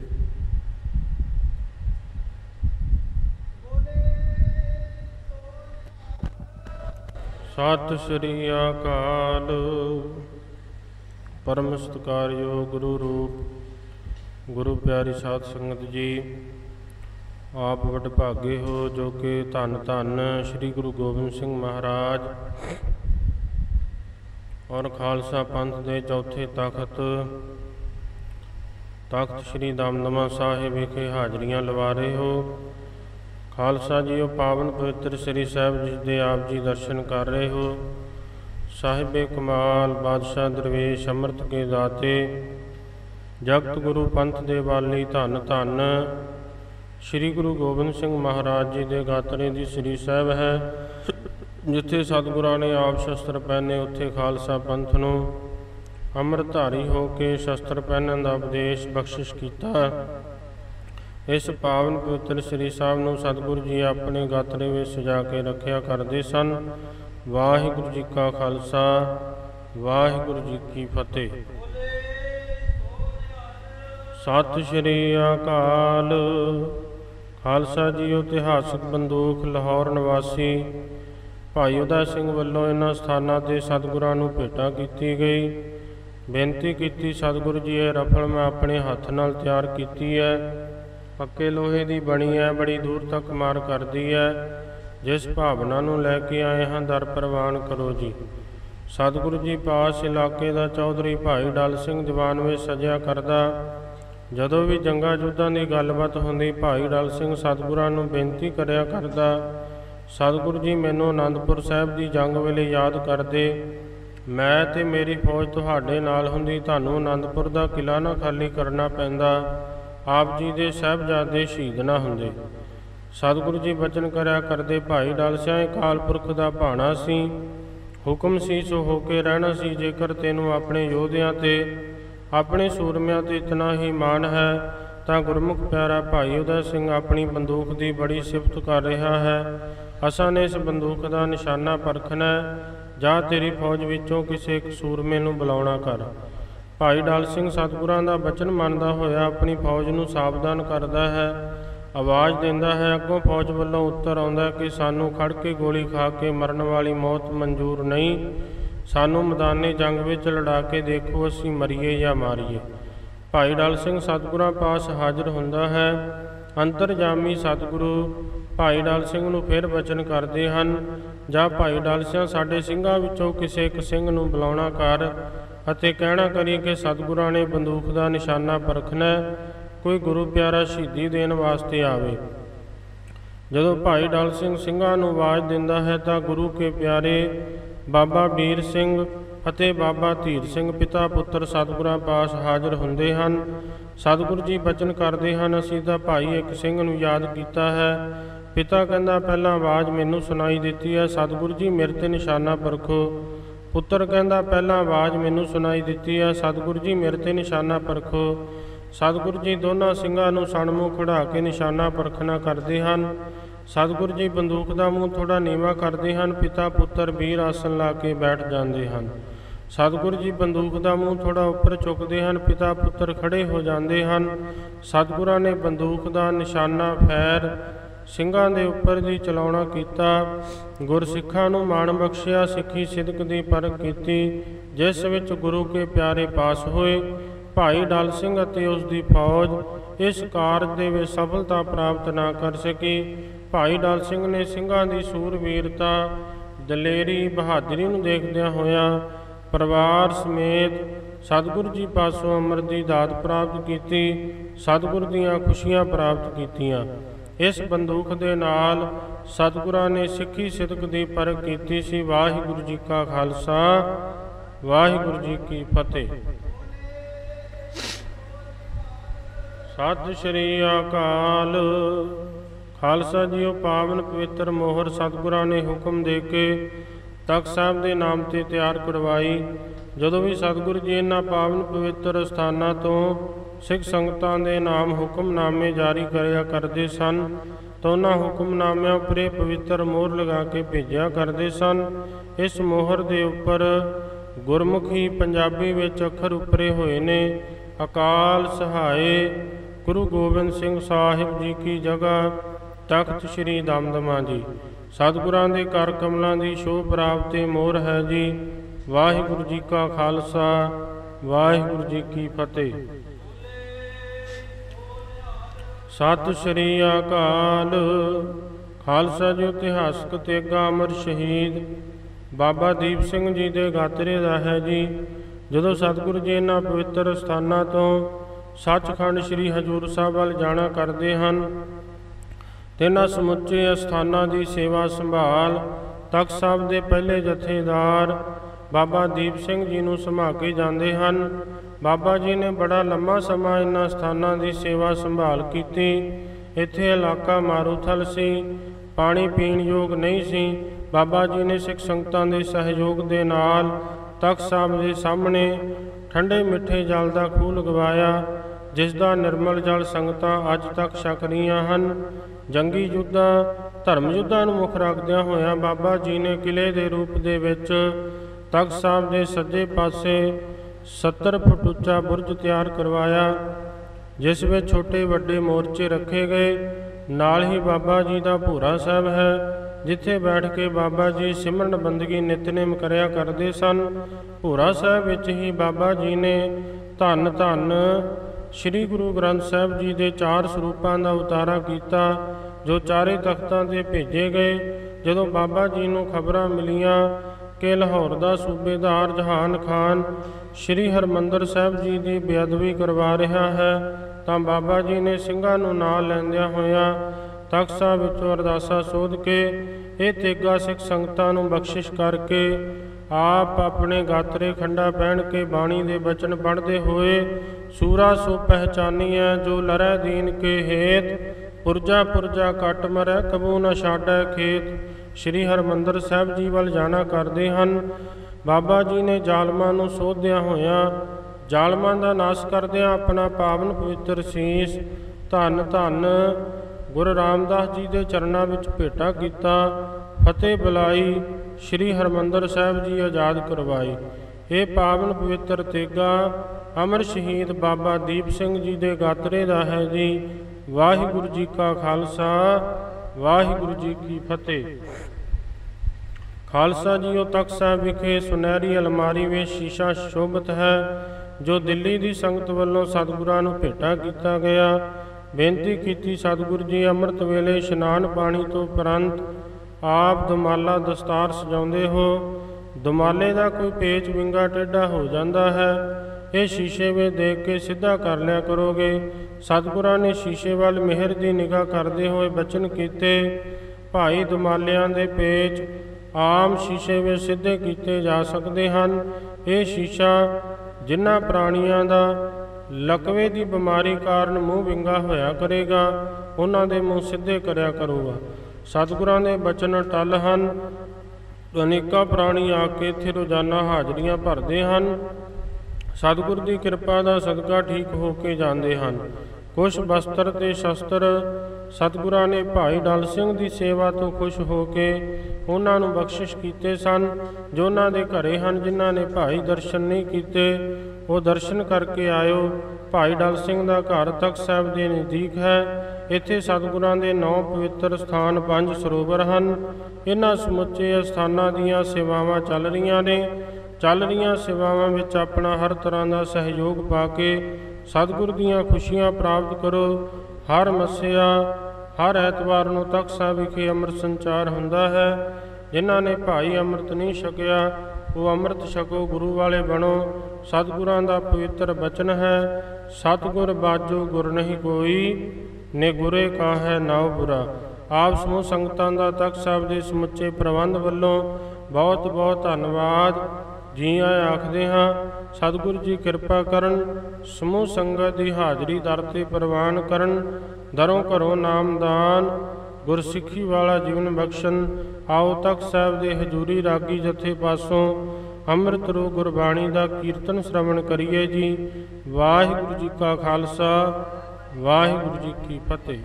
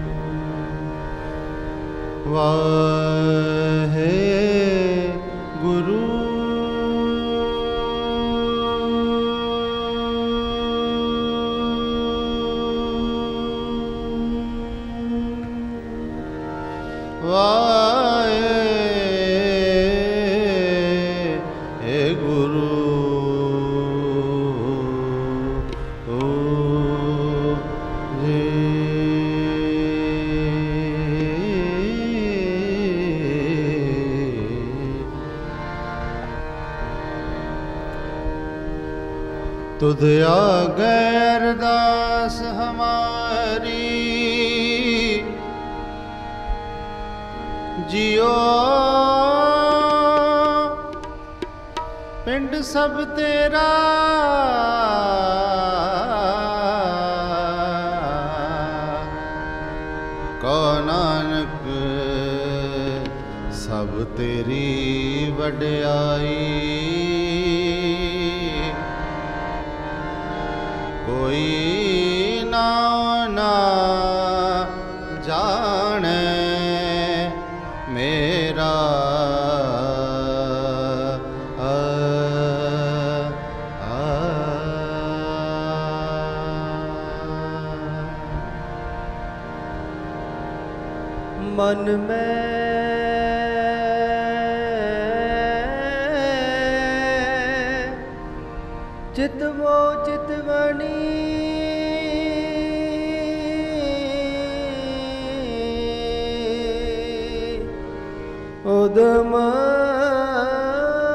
ਕਰੋ। ਉਠ ਨੀਤ।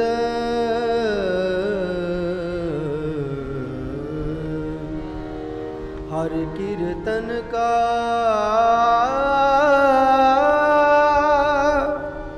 ਆਹਰੋ। ਹਰ ਦੇਹੋ के में। गुरु गरीब निवाज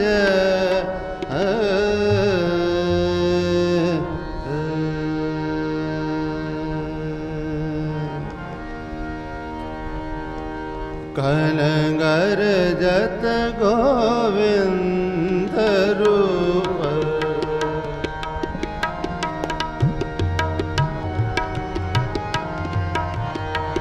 ਕਨਗਰ ਜਨ ਗੋਬਿੰਦ ਰੂਪ। ਕਨਗਰ ਜਤ ਗੋਬਿੰਦ ਰੂਪ।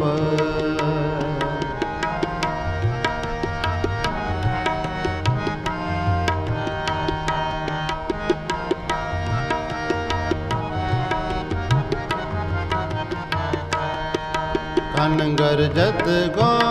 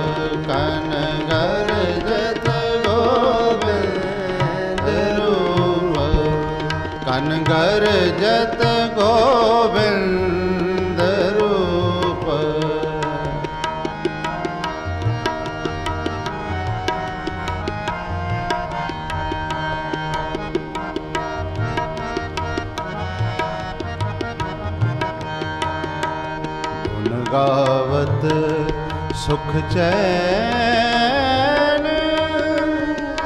ਗੁਣ ਗਾਵਤ ਸੁਖ ਚੈਨ। ਕਨ ਗਰ ਜਤ ਗੋਵਿੰਦ ਰੂਪ। ਕਨ ਗਰ ਜਤ ਗੋਵਿੰਦ ਰੂਪ। ਕਨ ਗਰ ਜਤ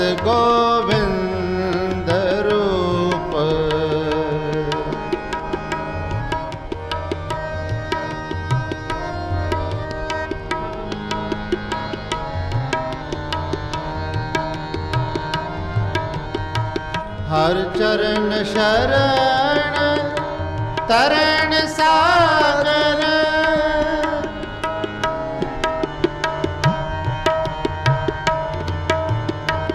ਹਰ ਚਰਨ ਸ਼ਰਨ ਤਰਨ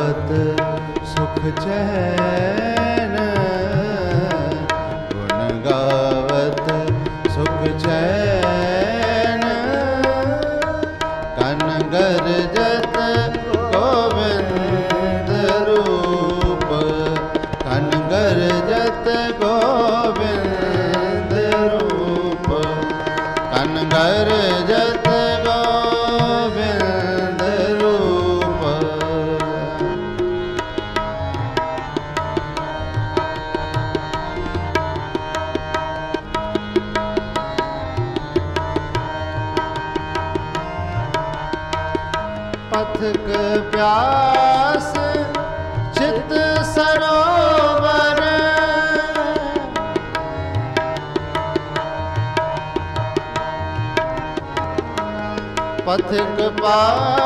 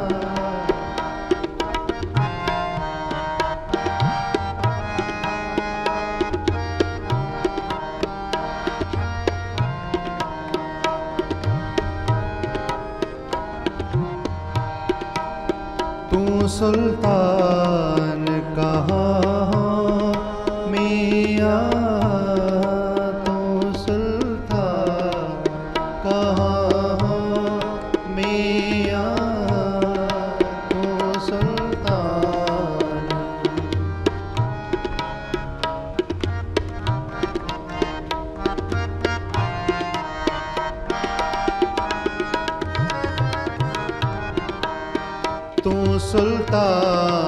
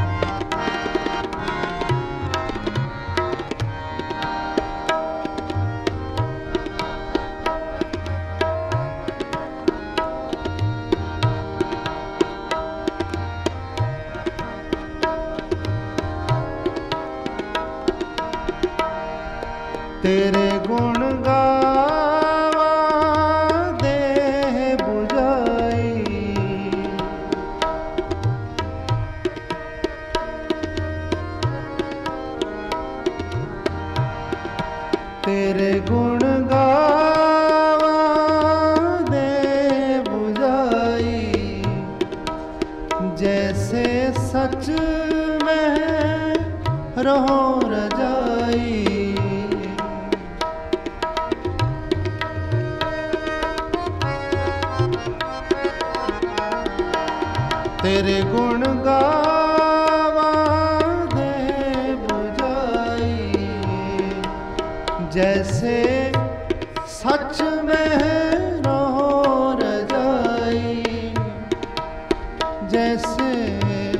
सच में रहो रजाई जैसे सच में रहो रजाई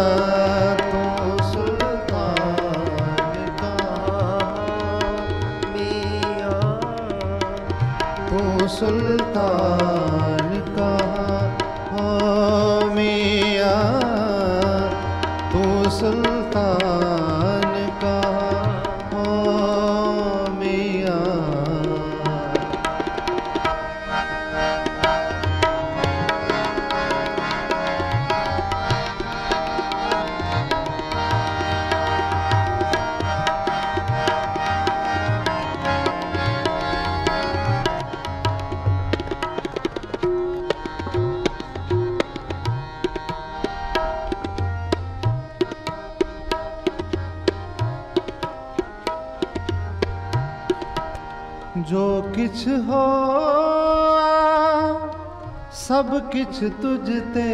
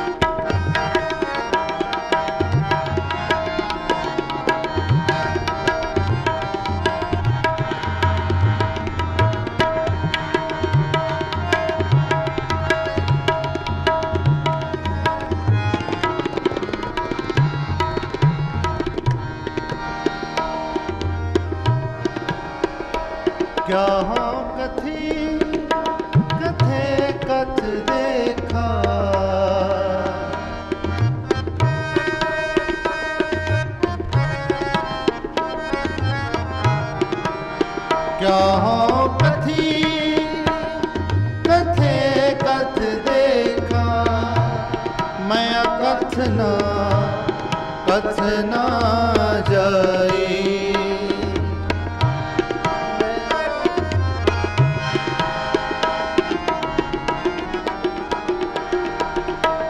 ਮੈਂ ਅਕਥ ਦਾ